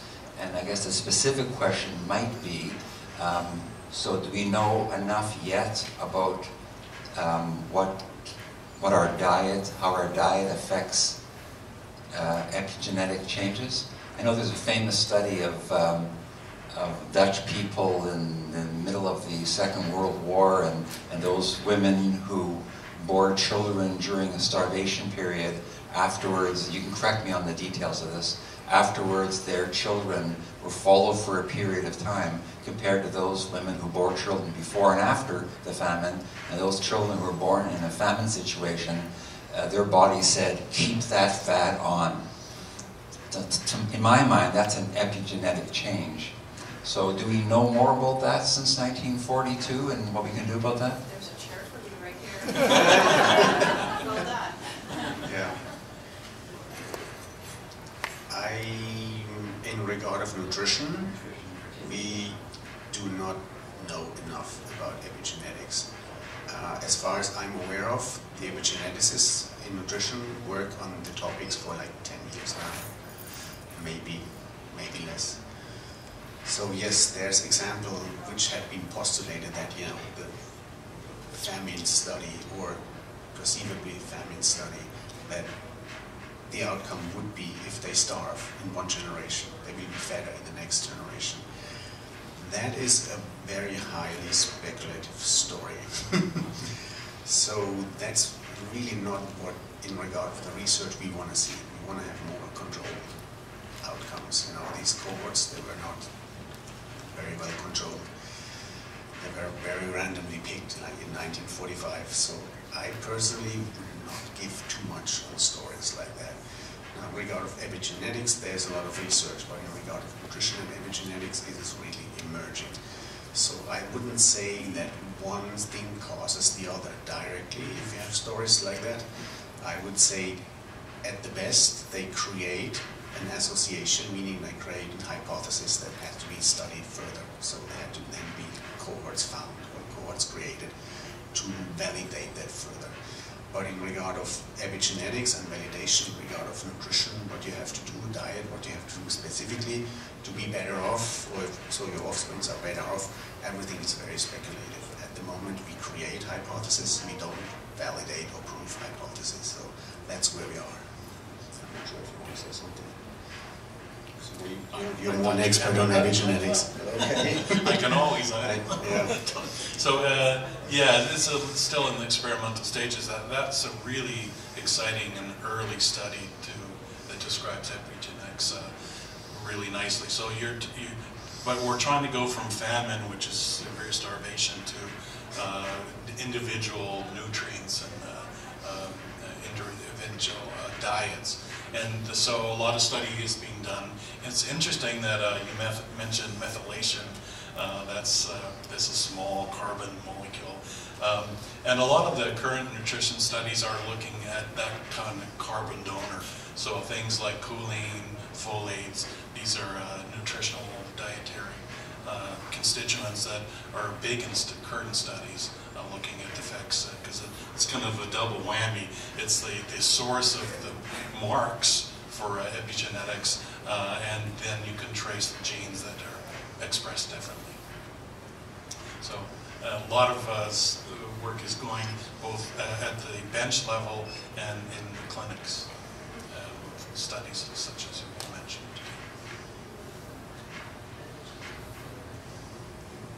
Must be a hot here. Um, I'm going to throw multiple sclerosis in here.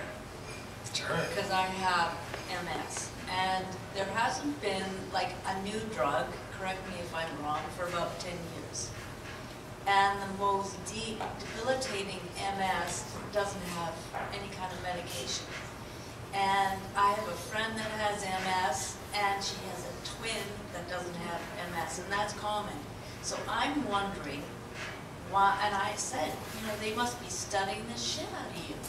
And they said, no, but they have identical genes, twins, don't they?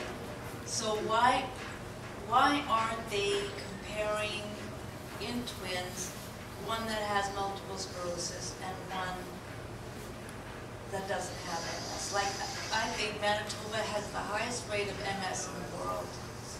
So it's, yeah.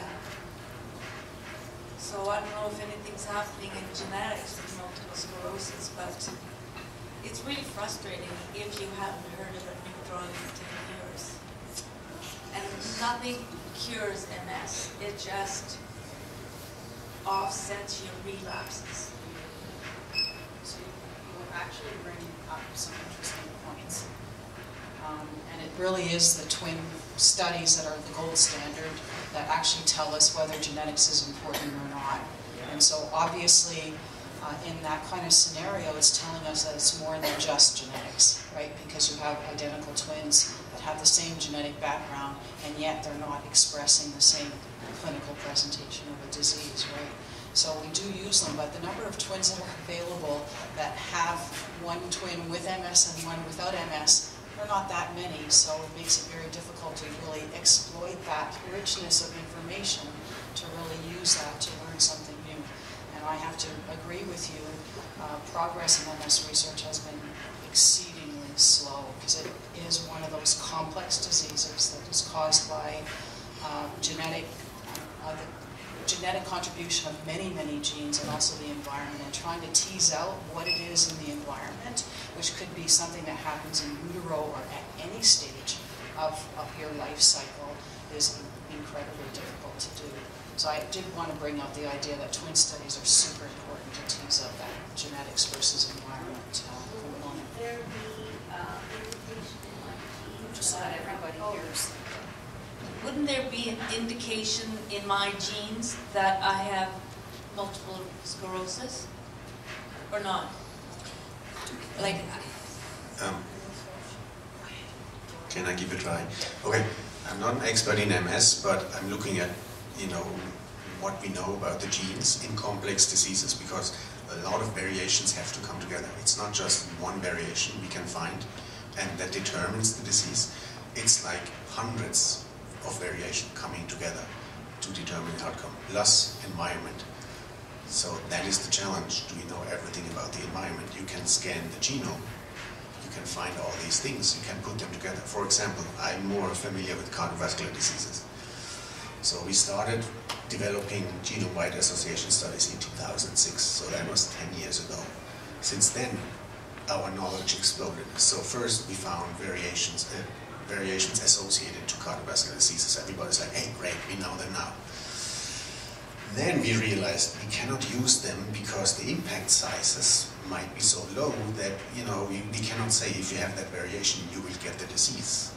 Now we're getting better. Now these days we've got actually genetic scores where we take like the impact sizes of hundreds of variations and put them together. And there was a very nice example for cardiovascular diseases just a few months back published where they put these scores together and then they applied it to people they had in a cohort for years and years where they knew the genetics. And one variation didn't determine a thing, but if they put 90 together, they could actually sort of uh, stratify them into high risk and low risk. And they actually then looked in the cohort and the people in high risk genetic scores died more than the ones in the low risk genetic, genetic scores. So this is a disease where people work on very, very heavily. MS, I'm not saying it's neglected, but they don't work on that so heavily. So today, like 2017, we can say, oh, you've got the scores. They still don't know what the environment does, right? They still don't know the environmental factors. And I want to emphasize that this is where we are right now. So I'm not saying there's no research on it, but it's very complex. And that's why, for example, in the US, they have the Precision Medicine Initiative, which was started by Obama in 2015, where they actually want to have a cohort of 1 million, where they want to do the genetic scans. And they want to also have all the environmental factors as good as they can assessed to, in a few years down, actually can start predicting that. So right now we just don't have bulk of the research and the numbers and things like that because the environment is a factor, genetic is a factor which is very complex we just st started working for understanding that. So that's the problem right now. And for MS, it's the same for MS or for cardiovascular diseases. That's what we're working on. We don't know the research tools we only have for the last 10 years. And in research, 10 years is not a very long time. We advanced a lot in that regard, but there's been many more things to do. And that's why people actually set up these initiatives. For example, in the US or in the UK, so they're coming up.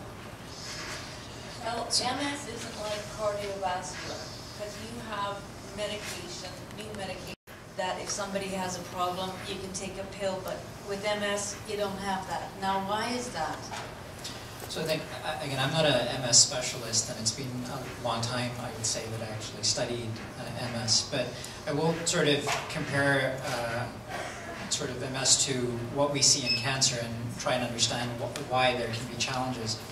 So we know various patients can get a type of cancer, but we also know that every patient behaves very differently. Uh, differently in terms of how that cancer behaves locally and how that cancer spreads. And a lot of that has to do with how that tumor has developed, but we suspect that other factors in play are how the tumor itself interacts with the rest of the body. Um, and those can have uh, genetic influences, genetic influences that may have been acquired as the tumor developed or as an individual ages. It could be because of epigenetic changes that could have been acquired because of exposures over time or viral or other uh, microbial uh, type effects. Uh, but trying to understand those interactions isn't as simple as, as taking a tumor and saying, okay, let's tease this out, partly because it's not very easy to tease out what the individual components are. And there's huge fields in science that are trying to dissect uh, tissues at the molecular level and understand them. I can imagine that in MS, one of the challenges is, well, what component of the disease do you study? We know that MS uh, is a neurological disease because it affects uh, the nerves, but we also know it's an immune disease because um, see uh, immune components uh, involved in it. So understanding those components individually and then as a complex unit can be quite challenging. And then the other thing you have to keep in mind that many MS patients in between flares can otherwise be fairly healthy. And so you have to make sure that when you, you, you have to be able to identify the patient at the right point in time, collect the right tissue or the right um, source of material, and then analyze it in a fairly complex process. So I think those steps are being taken, and, and uh, MS researchers are starting to divide the disease into these components and work on those areas. But like many things, uh, they're in their infancy, and, and, hopefully with progress in precision medicine, um, we won't be asking those questions anymore, and we'll have more answers.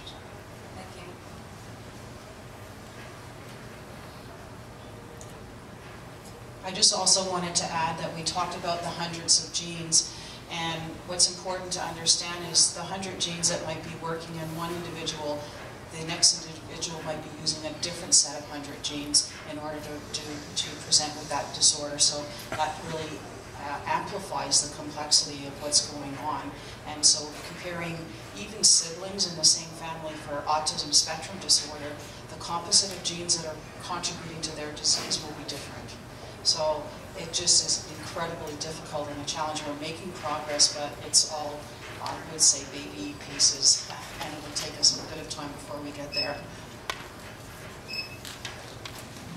Hi. Um, I was uh, found that I, in 1996, uh, I discovered uh, through a test that they did, uh, because I wanted to get a job at something, they discovered that I had a click in my heart. So at that time they did a study, uh, they did a scans and all that, and they discovered that I had a congenital defect. I had uh, two flaps fused together and, and one, so I didn't have the three of them working. So they called it a congenital heart defect. Interestingly, I found out later also that I was one in a million because it doesn't run, this particular one I have doesn't run in families. It's caused by outside sources or things that are so on. I was conceived in 1945, right about the time they had the Nevada tests. And there was a swath of radiation that went up through and, and down through northern Manitoba, where I was conceived at that particular time. My sisters don't have it, no other members of my family don't have it, so I was considered one in a million of one somebody that would have that type of defect. I'm just wondering if any studies have ever been done in regards to nuclear uh, deformation or, or, or uh, radiation and so on in, in birth defects that are around maybe that time, 1945. So the, the quick answer is yes. Um, we, we do know a lot about the association between radiation and um, the development of DNA mutations and how those DNA mutations can ultimately lead to other effects such as uh, health uh, issues, uh, congenital health issues. Um, the, so, so we, we know that it's a big risk factor for developing congenital issues. We know that it can be a big risk factor for developing diseases later in life, and cancer is a perfect example. Uh, and it doesn't necessarily have to do with radiation per se uh, as an entity. Um, it can broadly be encompassed in the term that we use as carcinogens. So carcinogens broadly is anything that can contribute to, um, in some cases, genetic changes or gene mutations that ultimately uh, lead to um, downstream effects or effects later in life. Um, so for cancer, we know it's things like radiation exposure, whether it's from artificial sources like um, nuclear development or natural sources such as solar radiation. Um, we know that there can be other exposures, such as uh, carcinogens in diet. We know that uh, smoking is by far the biggest risk factor. Um, and, uh, and we can go sort of on and on. Ultimately, we know that not every exposure leads to a mutation that will cause something bad. But we know that the more you have these exposures, or the greater the exposure, the greater the random chance that that exposure leads to a one in a million problem. And that's why, as uh, health practitioners, we advocate um, lifestyle measures to promote a healthy life. And we're not doing it because we're guaranteeing that that individual's life will be healthy, but we're making those recommendations because we believe that by leading a healthy life, they, that individual will ultimately reduce their odds of developing uh, a major illness down the road. I just wanted to say the reason I'm asking this question is up until that day in 1996, I was leading a very healthy life. I didn't smoke, I didn't drink, and I was, you know, I was, I'd done lots of different things that would have uh, required a lot of work on the heart. But it was decided from that particular one CT scan that I was to uh, be monitored for a while, and then all of a sudden I made a decision in, in uh, 2015 to, to go in and, and, replace it with a, with a, with a, a valve and, and, a new portion of my aorta. But other, you know, if they had, left it alone at that, that time, I think I'd have been still fine and not have these other things inside me right now. So uh, I'm just wondering, you know, how, how uh, one in a million congenital, if it wasn't congenital, you know, anything, any children I would have had wouldn't have got it. So it's just interesting. Have you ever come across that? well, not this specifically, but uh, you know what you're describing is a rare disease, uh, and given the association you're making with uh, radiation as being a cause of this, uh, that suggests it's likely a rare genetic uh, change. Um, and it, I just wanted to make a comment that we're previously talking about complex diseases like neurological disorders, cardiac arrest, cancer, uh, but rare diseases, using these tools we're talking about today, uh, we've been very successful at. So uh, rare genetic diseases, Canada is leading in, in worldwide in discovering these with these tools of next generation sequencing. And uh, with very small families or sometimes with a single patient. Because um, what you're likely describing or a possibility for your condition is a single base change in a single gene. Uh, that probably isn't well known or certainly not common. It's not common in your family either. So that's the kind of needle in the haystack that surprisingly or ironically we're really good at finding. So uh, there, uh, the hope for rare diseases is really turning around and this is Canadian-led uh, research.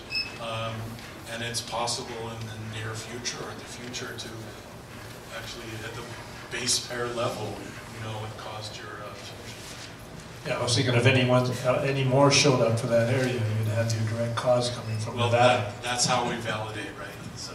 Thank you very much. Thanks for sharing your story.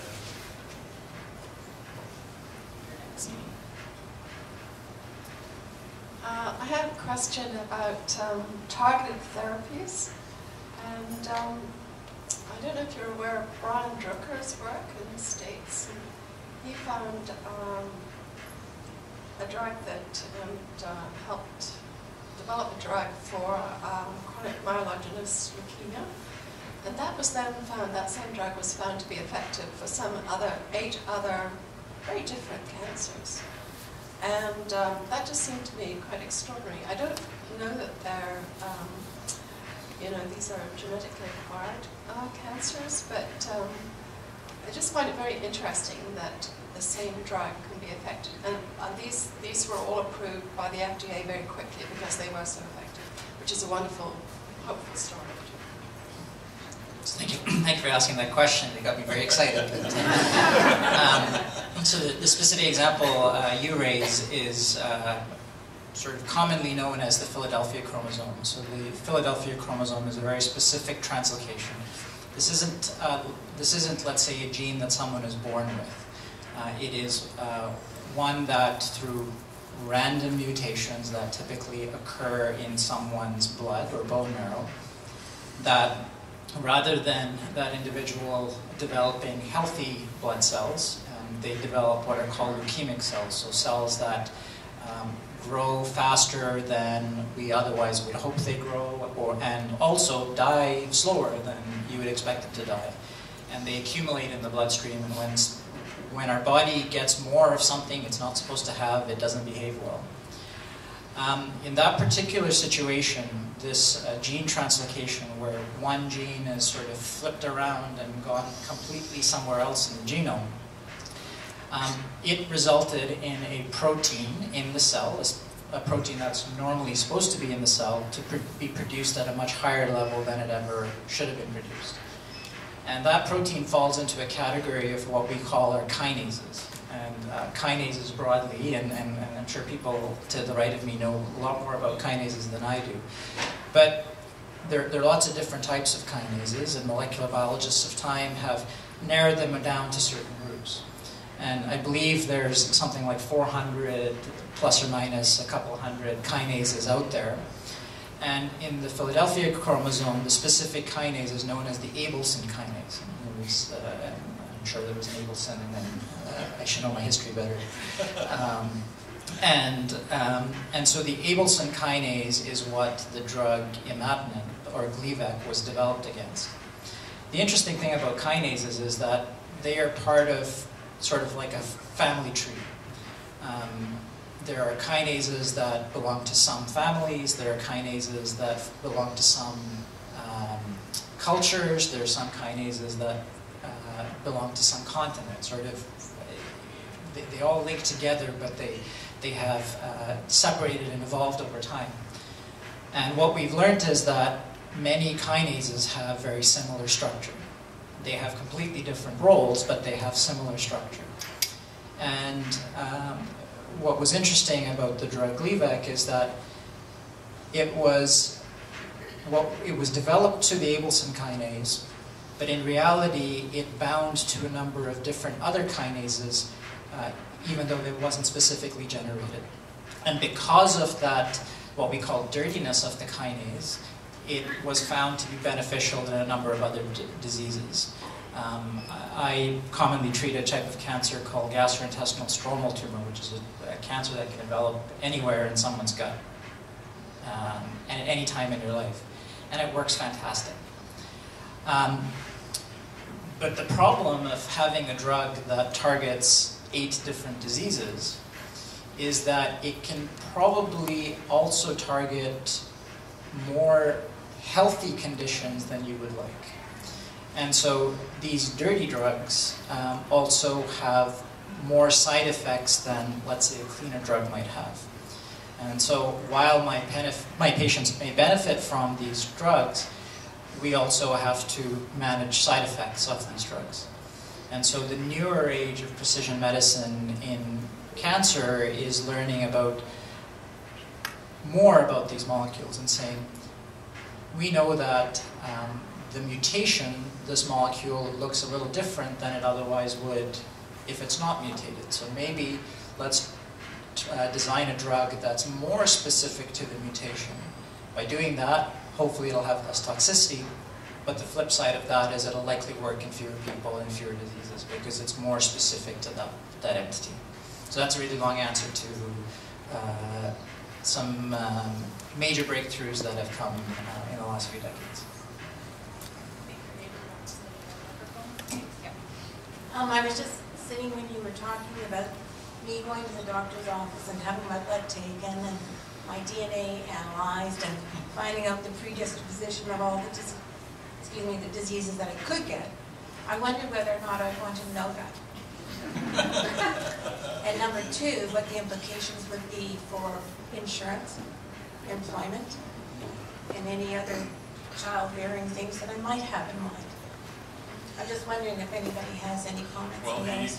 When we were briefly preparing for today, uh, that was one of the big, uh, most exciting discussions we had.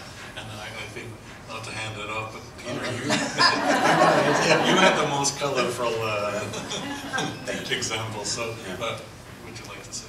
Yeah. In some regards, you do want to know it. In other regards, you don't. There's things we know about where we can do something about and there's things we know about where we can do nothing about. So what's it going to be? So that's always the conundrum to decide. So if you do a scan and somebody's analyzing that, you've got to be aware of that, right? What do you tell the people? Like we discuss it all the time. Do you tell the people, oh, you've got a mutation, It's just going to be really bad for you, and we cannot do anything about it? So sometimes in research you come across that. So what a lot of researchers say, we don't want to say, tell the people that because, you know, we research a different area of the genome, but we found that by accident. And we know this is really bad. So do you want to know about it or do you not want to know about it? So you as a person, you can decide, do you want to know about it or do you not want to know about it? Because sometimes you've got something you can actually basically predict what it's going to be and you can then do something about it. For example, Angelina Jolie right? Prime example. Everybody says it was very clear from her family history there's something going on. She did uh, scan for that specific gene. She found she's affected as well, and she took measures. She took her breast tissue out and her ovaries out, and that takes care of that. So that's something where you could some, do something about it, but there's many other things where we probably cannot do anything about it because that's how it is. So That's always the discussion. Do you want to know something about it? Well, the other thing is, should it affect your employment state, your insurance state, your whatever? It shouldn't because that should be private. That should be something you should know and nobody else should know.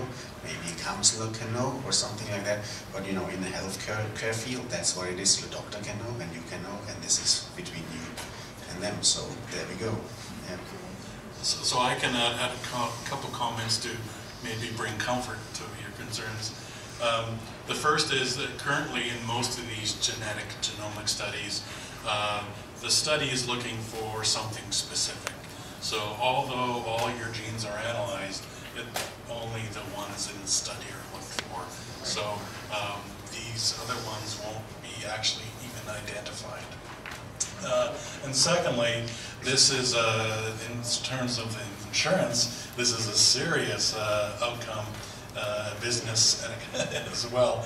Uh, and three weeks ago, Canada in the House of Commons passed an act that actually protects Canadians against use of your genetic information uh, against you in any way. So that's still before the Senate now, uh, but it's moving in the right direction. Um, and there's a big discussion of whether that's good or not, but I think uh, as an individual goes, it's probably a good thing. I just wanted to comment that on the same lines, if you have HBO, and poor television has just disintegrated everybody, and nobody knows what everybody's watching, but if you're watching uh, The Immortal Life of Henrietta Lacks, would be a very good show to watch now. Yes. Uh, The consent process to have your genome sequenced is quite extensive. Uh, They actually could be 10 pages long. Um, and uh, there are some uh, uh, groups that actually have quizzes before uh, they accept your consent to make sure that you understood what was in those 10 pages. I actually think that's a good step because like we do, I accept for all the internet stuff that we do, most of the time we don't read it. Um, but it, while you're going through that consent process, at the end, you're asked what it is you want to know and what it is that you don't want to know. So really it is in your hands now, we can't answer that question for you. You have to figure out exactly what are the, con, un, what, under what conditions do you want to receive that information, uh, uh, because the information will be there.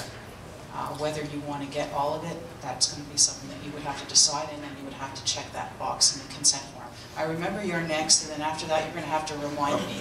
But hold on a second.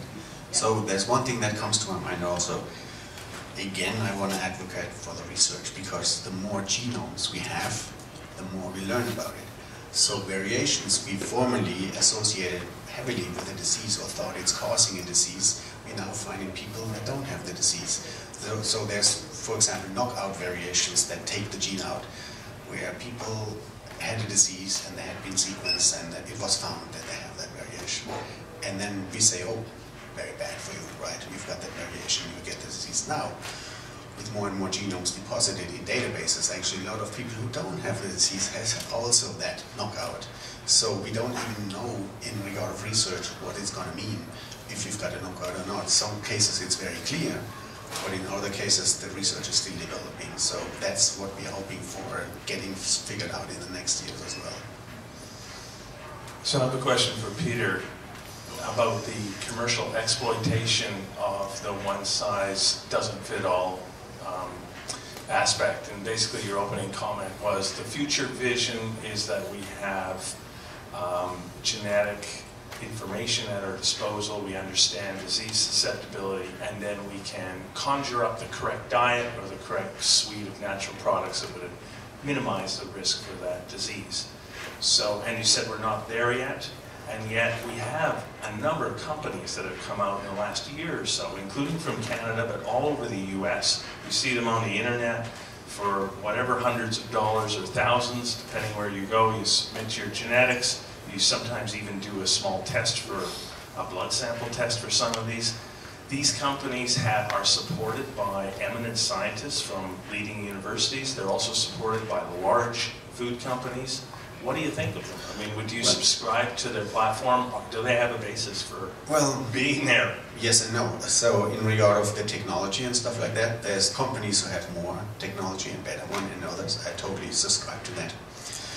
in regard of the interpretation, I would be cautious. It's always like, you know, the vision I described is we go to a doctor, we know everything about it, it will be predictive, it will be an outcome. Um, at the moment, it's more, we have a few prediction, we have maybe have a few outcome, but maybe.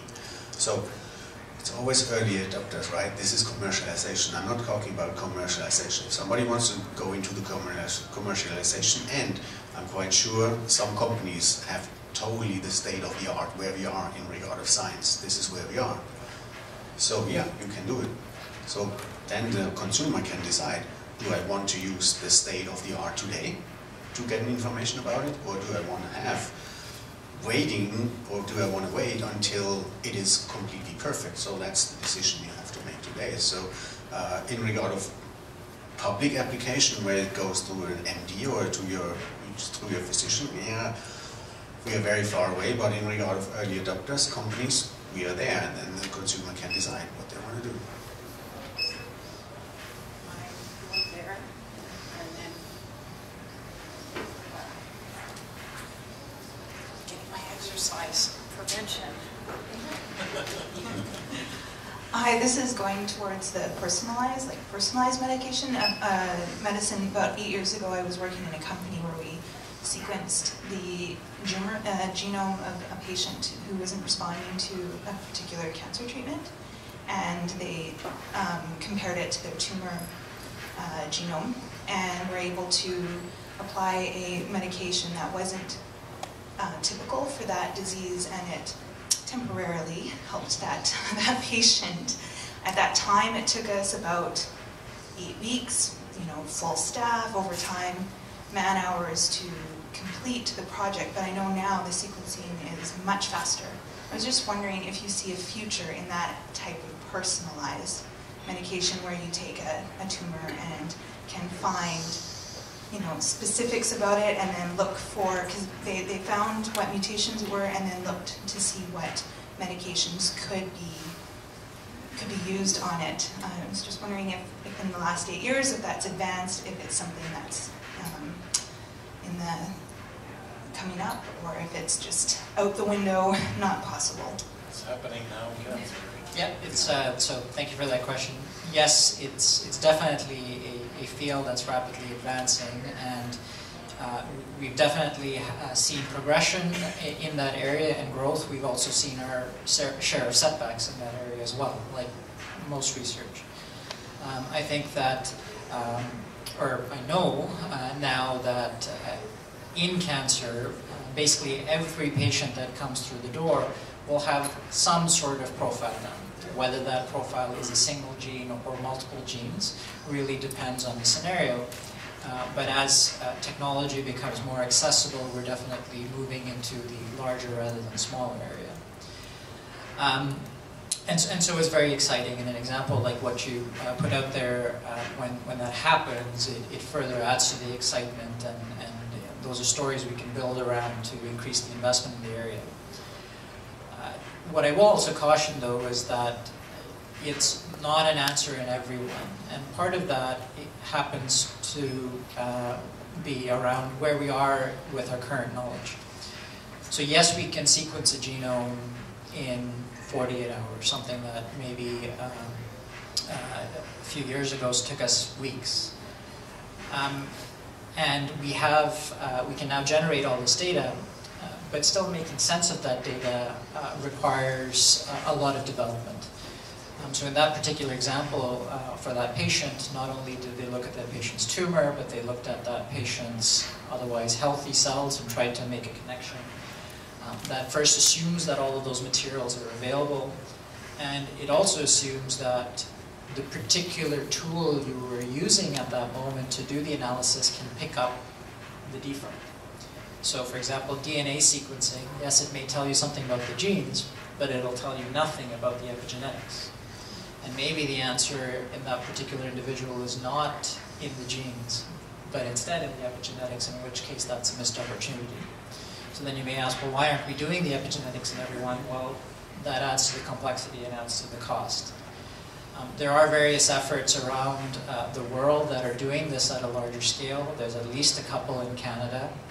Um, and there's at least one uh, national effort in pediatrics, which Manitoba is a participant in, that are doing this at a larger scale. Uh, and we're hoping to learn more from those as we go forward. Is that a, somebody on that side? That's the question? Yeah. I get to see arms raised in in my periphery sometimes. There you go. Yeah, I, that's similar to that last question, just how much is it the precision medicine being used right now in practice if I, if someone shows up with a new diagnosis of heart disease, cancer, that it's actually part of, of the routine as opposed to future pie in the sky or we're working on it. Uh, is, like how much is it really in practice and making a difference right now, say, compared to 10 years ago? I guess I'll take that again. And so, um, 10 years, 10 years ago, uh, I, I, was just sort of starting my training in this area, and I will say that the majority of patients came through, and other than breast cancer, uh, we really didn't test for anything. Um, and then as drugs developed, and in fact, targeted drugs developed, came and uh, were developed, we still didn't test because partly we knew the targeted drugs worked, but we didn't know exactly how they worked. And it was only through further research that we were able to correlate the response to targeted drugs with certain genetic uh, traits. And since then, uh, it's become standard that uh, we test for those traits to ensure that our patients get access. The most common cancer I treat is lung cancer. So it's basically standard now that every patient that comes through the door uh, who has advanced lung cancer um, gets a uh, test for at least two genes. And uh, these, the reason we we test for these two genes is that we have drugs that are available um, that can be quite effective at controlling that patient's disease for a period of time. Um, unfortunately, for those two uh, tests, the two genes, we have two different tests. And the reason we have two different tests is that they are very different types of genetic abnormalities. So one test doesn't work for everyone. Although as technologies are advancing, we are finding tests that can look for more than one abnormality at the same time. Um, so over the last decade, we've had several cancer genome projects, or where they've looked at hundreds of different types of cancers and hundreds of patients within each of those cancers. And what we're seeing is that every cancer has common mutations, which are more unique to that cancer. But they also have less common mutations that maybe not unique to the cancer, but seen in various other types of cancers. So part of what we've been doing here in Manitoba and uh, others uh, across the world are doing is that rather than having a test specific to that disease, we're developing a cost-effective test that we can apply across various cancers. So when someone walks through the door with either breast cancer or colon cancer or lung cancer, we do this test we find the common ones that we know should be there and send those patients down the, the appropriate treatment paths.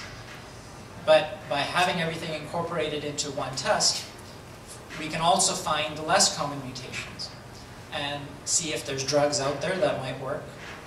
Or if there's no obvious drugs, put them into clinical trials and uh, hopefully by doing that discover the next set of drugs that will work in that context. So yes, it is being uh, applied it's being applied widely, and uh, every year we're looking at ways, cost-effective ways to expand it. So uh, as I mentioned, in, for many Canadian families with rare diseases, uh, this is exactly what's happening. If you happen to uh, be in the right center and uh, have the, the, right clinician, you can part of this discovery research program where literally your genome is sequenced.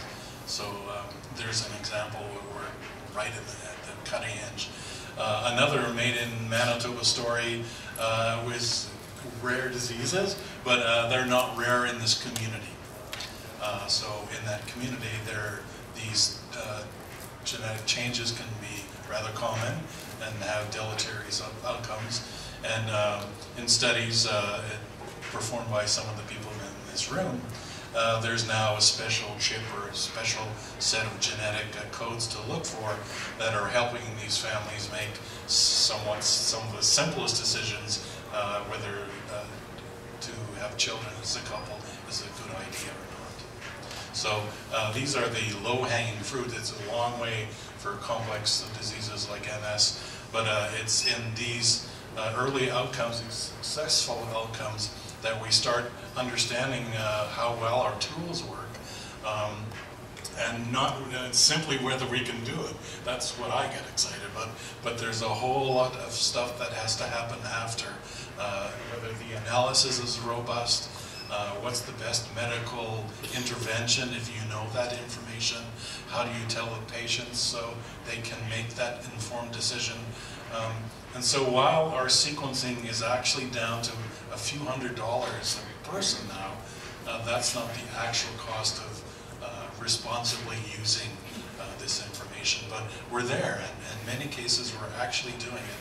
And that's why research is moving so fast. We're so excited, and I am guessing why you're here, because it's actually happening now. So I want to give a positive uh, bit of spin there.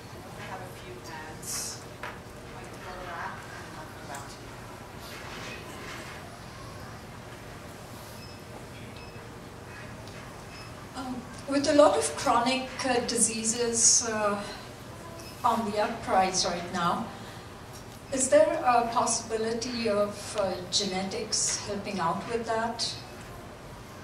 Like things like diabetes, hypertension, at some point when these genes could be kind of taken out of the system? Well, the, the short answer is yes.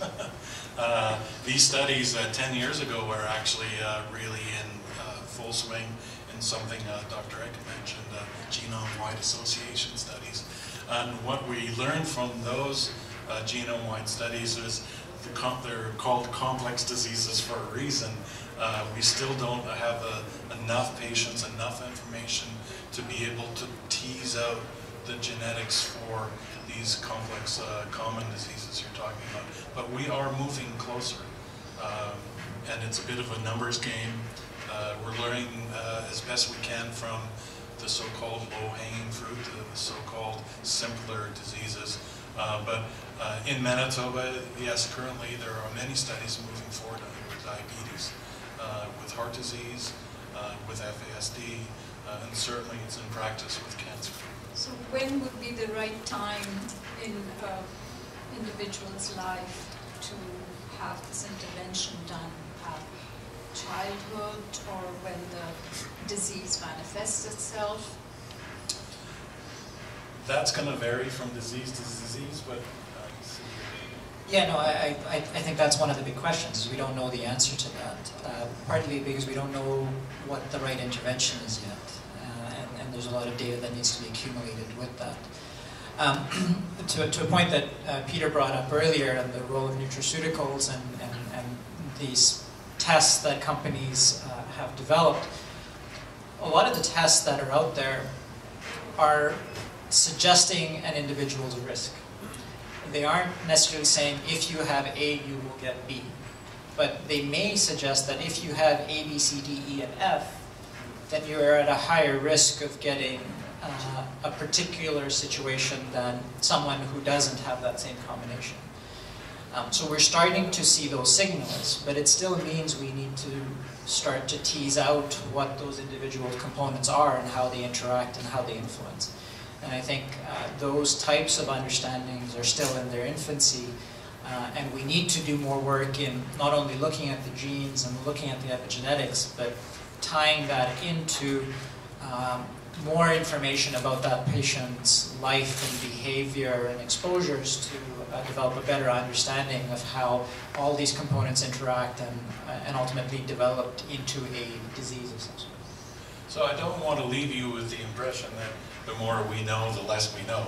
Uh, uh these these uh, are actually moving forward. So that the kind of diseases you're describing, the kind of ability to have some sense of risk or predisposition does allow a change in the way we handle this and the way you handle this. So individuals have a choice to maybe address lifestyle changes that might mitigate that risk, whether it's real or not. Uh, uh, as well, uh, in many cases, the uh, frequency of checkups or the frequency of uh, uh, tests can be increased to, just to be on the safe side now that there might be some evidence for that possibility. Yes. We're- We're kind of flipping around this genome sequencing and so on. If I go and get my blood taken for my annual checkup, that lab can't do the genome sequencing. So where does it go to get done? You guys? Or where? So we, we, we, we could do it. So in terms of, uh, from, from an actual technological perspective, yes, we could do it. Um, we could sequence your genome and get all the bits and bytes of your genome. The question is, what do we do with it then? Uh, and that's where one of the big challenges uh, is out there. Because your genome is unique to you. Um, it's not 100% unique. Many of us, and all of us in this room, probably share 99% of it. Um, and so it's trying to understand, well, how do we first recognize that 1% difference? And that 1% difference may be in, uh, and it's probably smaller than 1%.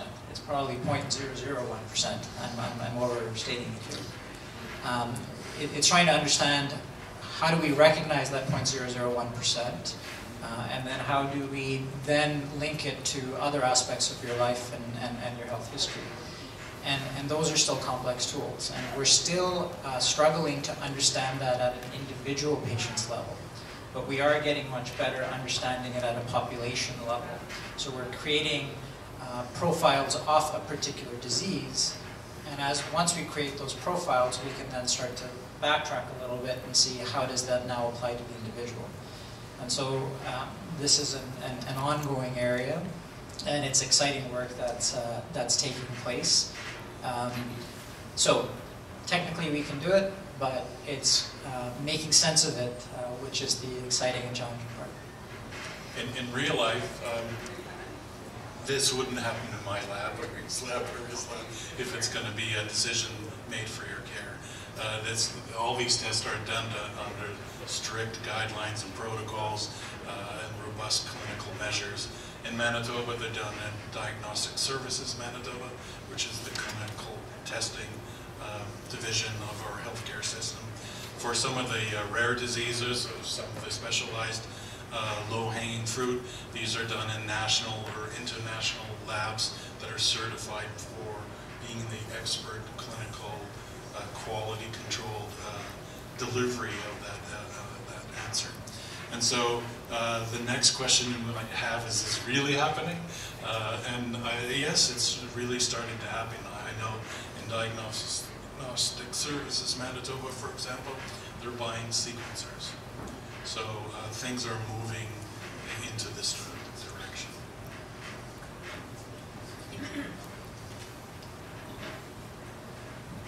Uh, a comment about uh, this one over here and the comment about the sociology part. Uh, my concern, sociology, the, uh, my concern is is finding out something and being told you have a 73% chance. And that, that whole business of percentage, you make a decision about removing your testicle or your breast or your right eye. So that's just a comment about that. Um, I also, I also, that's just a comment. And while I've got this, I'll give it away. Uh, the other thing I wanted to say is uh, CRISPR-9. I'm a little disappointed about how far we've moved, actually. I thought we've moved much farther than, than what you're saying, with all due respect. It's you know, out, of your, out of your control.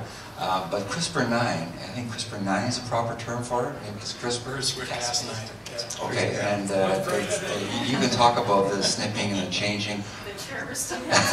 reading, reading and listening about that, I thought, man, we can just snip out here, take this, put it there, and then your your disease is solved.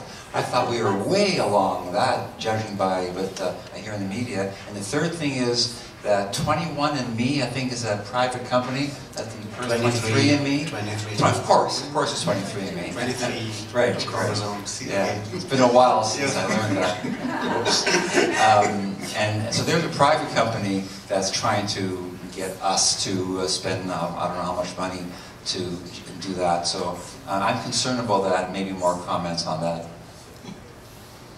Well, 23andMe is quite interesting. It's huge in the States. Uh, it's kind of shut down now for the very reasons we've had some discussion about. Um, how do you give this information responsibly back to uh, the public? Um, it's reinvented itself as Ancestry now, so they've just basically remar- remarketed the, their technology platforms. So it all points down to what you say, 73% do I get the disease or not? As the research developed, we found more and more associations, right? Most of the complex diseases, the impact size is like 10% maybe. But we now have actually risk scores putting together. And we're getting better in it, but we're still working on it. So in regard of that, the FDA asked for the example of 23andMe, it's highly published, uh, because it was shut down two years ago. Because the FDA told them, in medicine, we have to have something validated. Like, if you have an association, it is not a validation. So most of 23andMe prediction is association. So if you say 73% based on an association study, not a validation, it doesn't mean you will get that of like, you know, chances are two-thirds that you will get the disease. Doesn't, doesn't, didn't translate to that. So the FDA came and said, give us the evidence. So since then, uh, 23andMe we couldn't give them the evidence. They cannot do the health test anymore in the US. They can still do it here. So you will still get that information in Canada. But you've got to see it with where we are. I think 23andMe has the biggest database, has a very, very good genome scan in, in, in place. But the science just doesn't know enough, about it, right? We don't know risk scores. We cannot assign risk scores unless we've got a monogenic disorder. Like if you have the BRCA1 or 2 mutation, you will get breast cancer. They, they still do something like that. What they now do, and they came back and said, hey, we identified carriers of these monogenic disorders. That's what they're still doing in regard of health. So in the other things, in the other regard, it's reflected that the research is still not there in regard of predicting something based on the genome profile. And that's, that's where they are, and that's how they operate that. So in regard of the ethics, people need to be aware of it. I think they apply the state of the art, but the state of the science is that we cannot predict precisely what's going to happen based on your genome. Plus, we can never figure in, at the moment, we cannot figure in the environmental exposures that has an influence as well. And that's why many, many more research programs are set up for that. I think I'd also add a plug for geneticists and genetic counselors. Um, if you go to a direct-to-consumer company, you're going to receive a report in the mail, and you'll sit in your living room in, your four walls and try to figure out what that report means. And I think that's the part that we are concerned about is that uh, the follow-up. How do you take that information and interpret it in a way that makes sense to you? Um, and, and you don't get that sense from getting a report in the So we did not, yeah, the CRISPR, CRISPR Oh, question. yeah, CRISPR-Cas, yes. Yeah, so we can exclusively engineer now. And so the, that's the next question. If we know this one uh, base pair change can cause these diseases, why don't we fix it? Uh, so that's a very exciting new technology. I can say I do it with mice. Um, uh, and the, but there's a, it also has risks. Uh, playing around with the genome isn't as clean uh, as it can be in the lab. And again, there will be low-hanging fruit for the first possibilities. Um, these may be single gene blood disorders, for example, where uh, you can perhaps try to first starting using this type technology out of the context of the body. Uh, but that's where people are going, definitely. Well, there's the discussion. Ultimately, you want to alter your genome so everything is perfect, right? should we gonna do that or should we not do it? Some people say it's gonna happen anyways. Some other people say, well, there's huge ethic implications. One, you know, one population gets edited, so they're perfect. The other population doesn't get edited, so they're not so perfect. So, I, these things are all discussed and you know controversially discussed, but they're out there. They're tested right now, but the outcome is far from open. Uh, it's very open. far Yeah, from changing your blood or changing your uh, insulin-producing cells is uh, quite a different story than changing Making your chart. yourself better from worse is one thing, making yourself better than better is a different Yeah. yeah, well, the people discuss, you know, because there had been work on human embryos. So there is work that we want to edit the embryo so it's going to be perfect. You know, whose embryo is going to be perfect in what regard? What will be perfect? What should we do and Should we not do it? Some geneticists say it's going to happen anyways, so let's do it. Other people say no. There's huge ethical res- reserve reservations we've got about it, so let's not do it. So that's just starting because the technology is two years old. So, so we will see what's happening. Um, I think that also underscores the importance of these kinds of discussions, because I think we have to be part of the dialogue.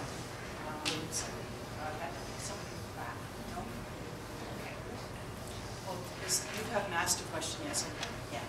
Did somebody else first? Yeah, she's asked a question. Oh, It might be the last question depending on. Well, then I will ask my futurism question.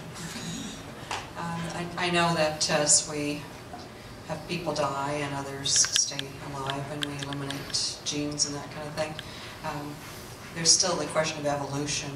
Are we taking evolution into consideration in these studies?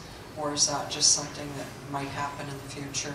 Or are we affecting evolution through our um, say, solutions to diseases. Well, right now, as we're just discussing, uh, changes to the germline or changes to the cells that can be inherited or tra- transferred from generation to generation are the least likely uh, areas that will be uh, done in any near future. And secondly, I think the applications of this precision uh, medicine we're focusing on are really ones of chronic illness uh, and quality of life. So quite separate from changing uh, evolution of uh, us as a species. That'd be my general high-level uh, comment. So I think I can take one last question. Well, I'd have to, uh, Oh, I'd- sorry. sorry, I'd, I'd I'd have to agree in the sense that particularly in the setting of, of cancer, um, a lot of what we're doing right now is even very specific to the tumor. Um, and so, and, and in many ways, uh, we're not even at the point that we're manipulating the genomes, we're just trying to understand them and, and then potentially um, not affect the outcome at the gene level, but affect the outcome at the protein level. So we know that the genes eventually lead to influences in the proteins, and the proteins are something that we can ultimately design a drug against because it's, it's much easier mechanically, mechanistically to do that. Um, so I think we're a long ways away from affecting the evolution, um, but in many ways we are trying to understand the evolution of various things as they go along. Um, evolution of individuals over time and influences uh, diseases in one area versus another based on evolutionary influences, uh, but then also within a specific disease and trying to understand uh, why did a particular cancer evolve a particular way in one individual and not in another.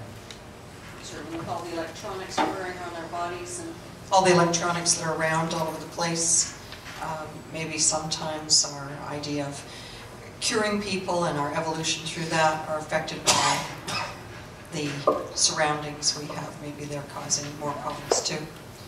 That's the environment. So it wasn't a last question, it was a last answer.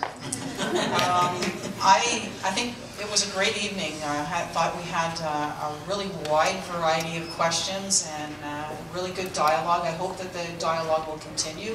I think these are important issues and being aware of uh, how technology is changing and the impact of that technology on your lives is something that is our responsibility to learn to uh, actually convey to you, but also for everyone to learn about so that we can have a say in ensuring that we have uh, bills that pass that uh, we don't have discrimination based on our genetics, etc. Um, so we should be active participants on how this information is being used.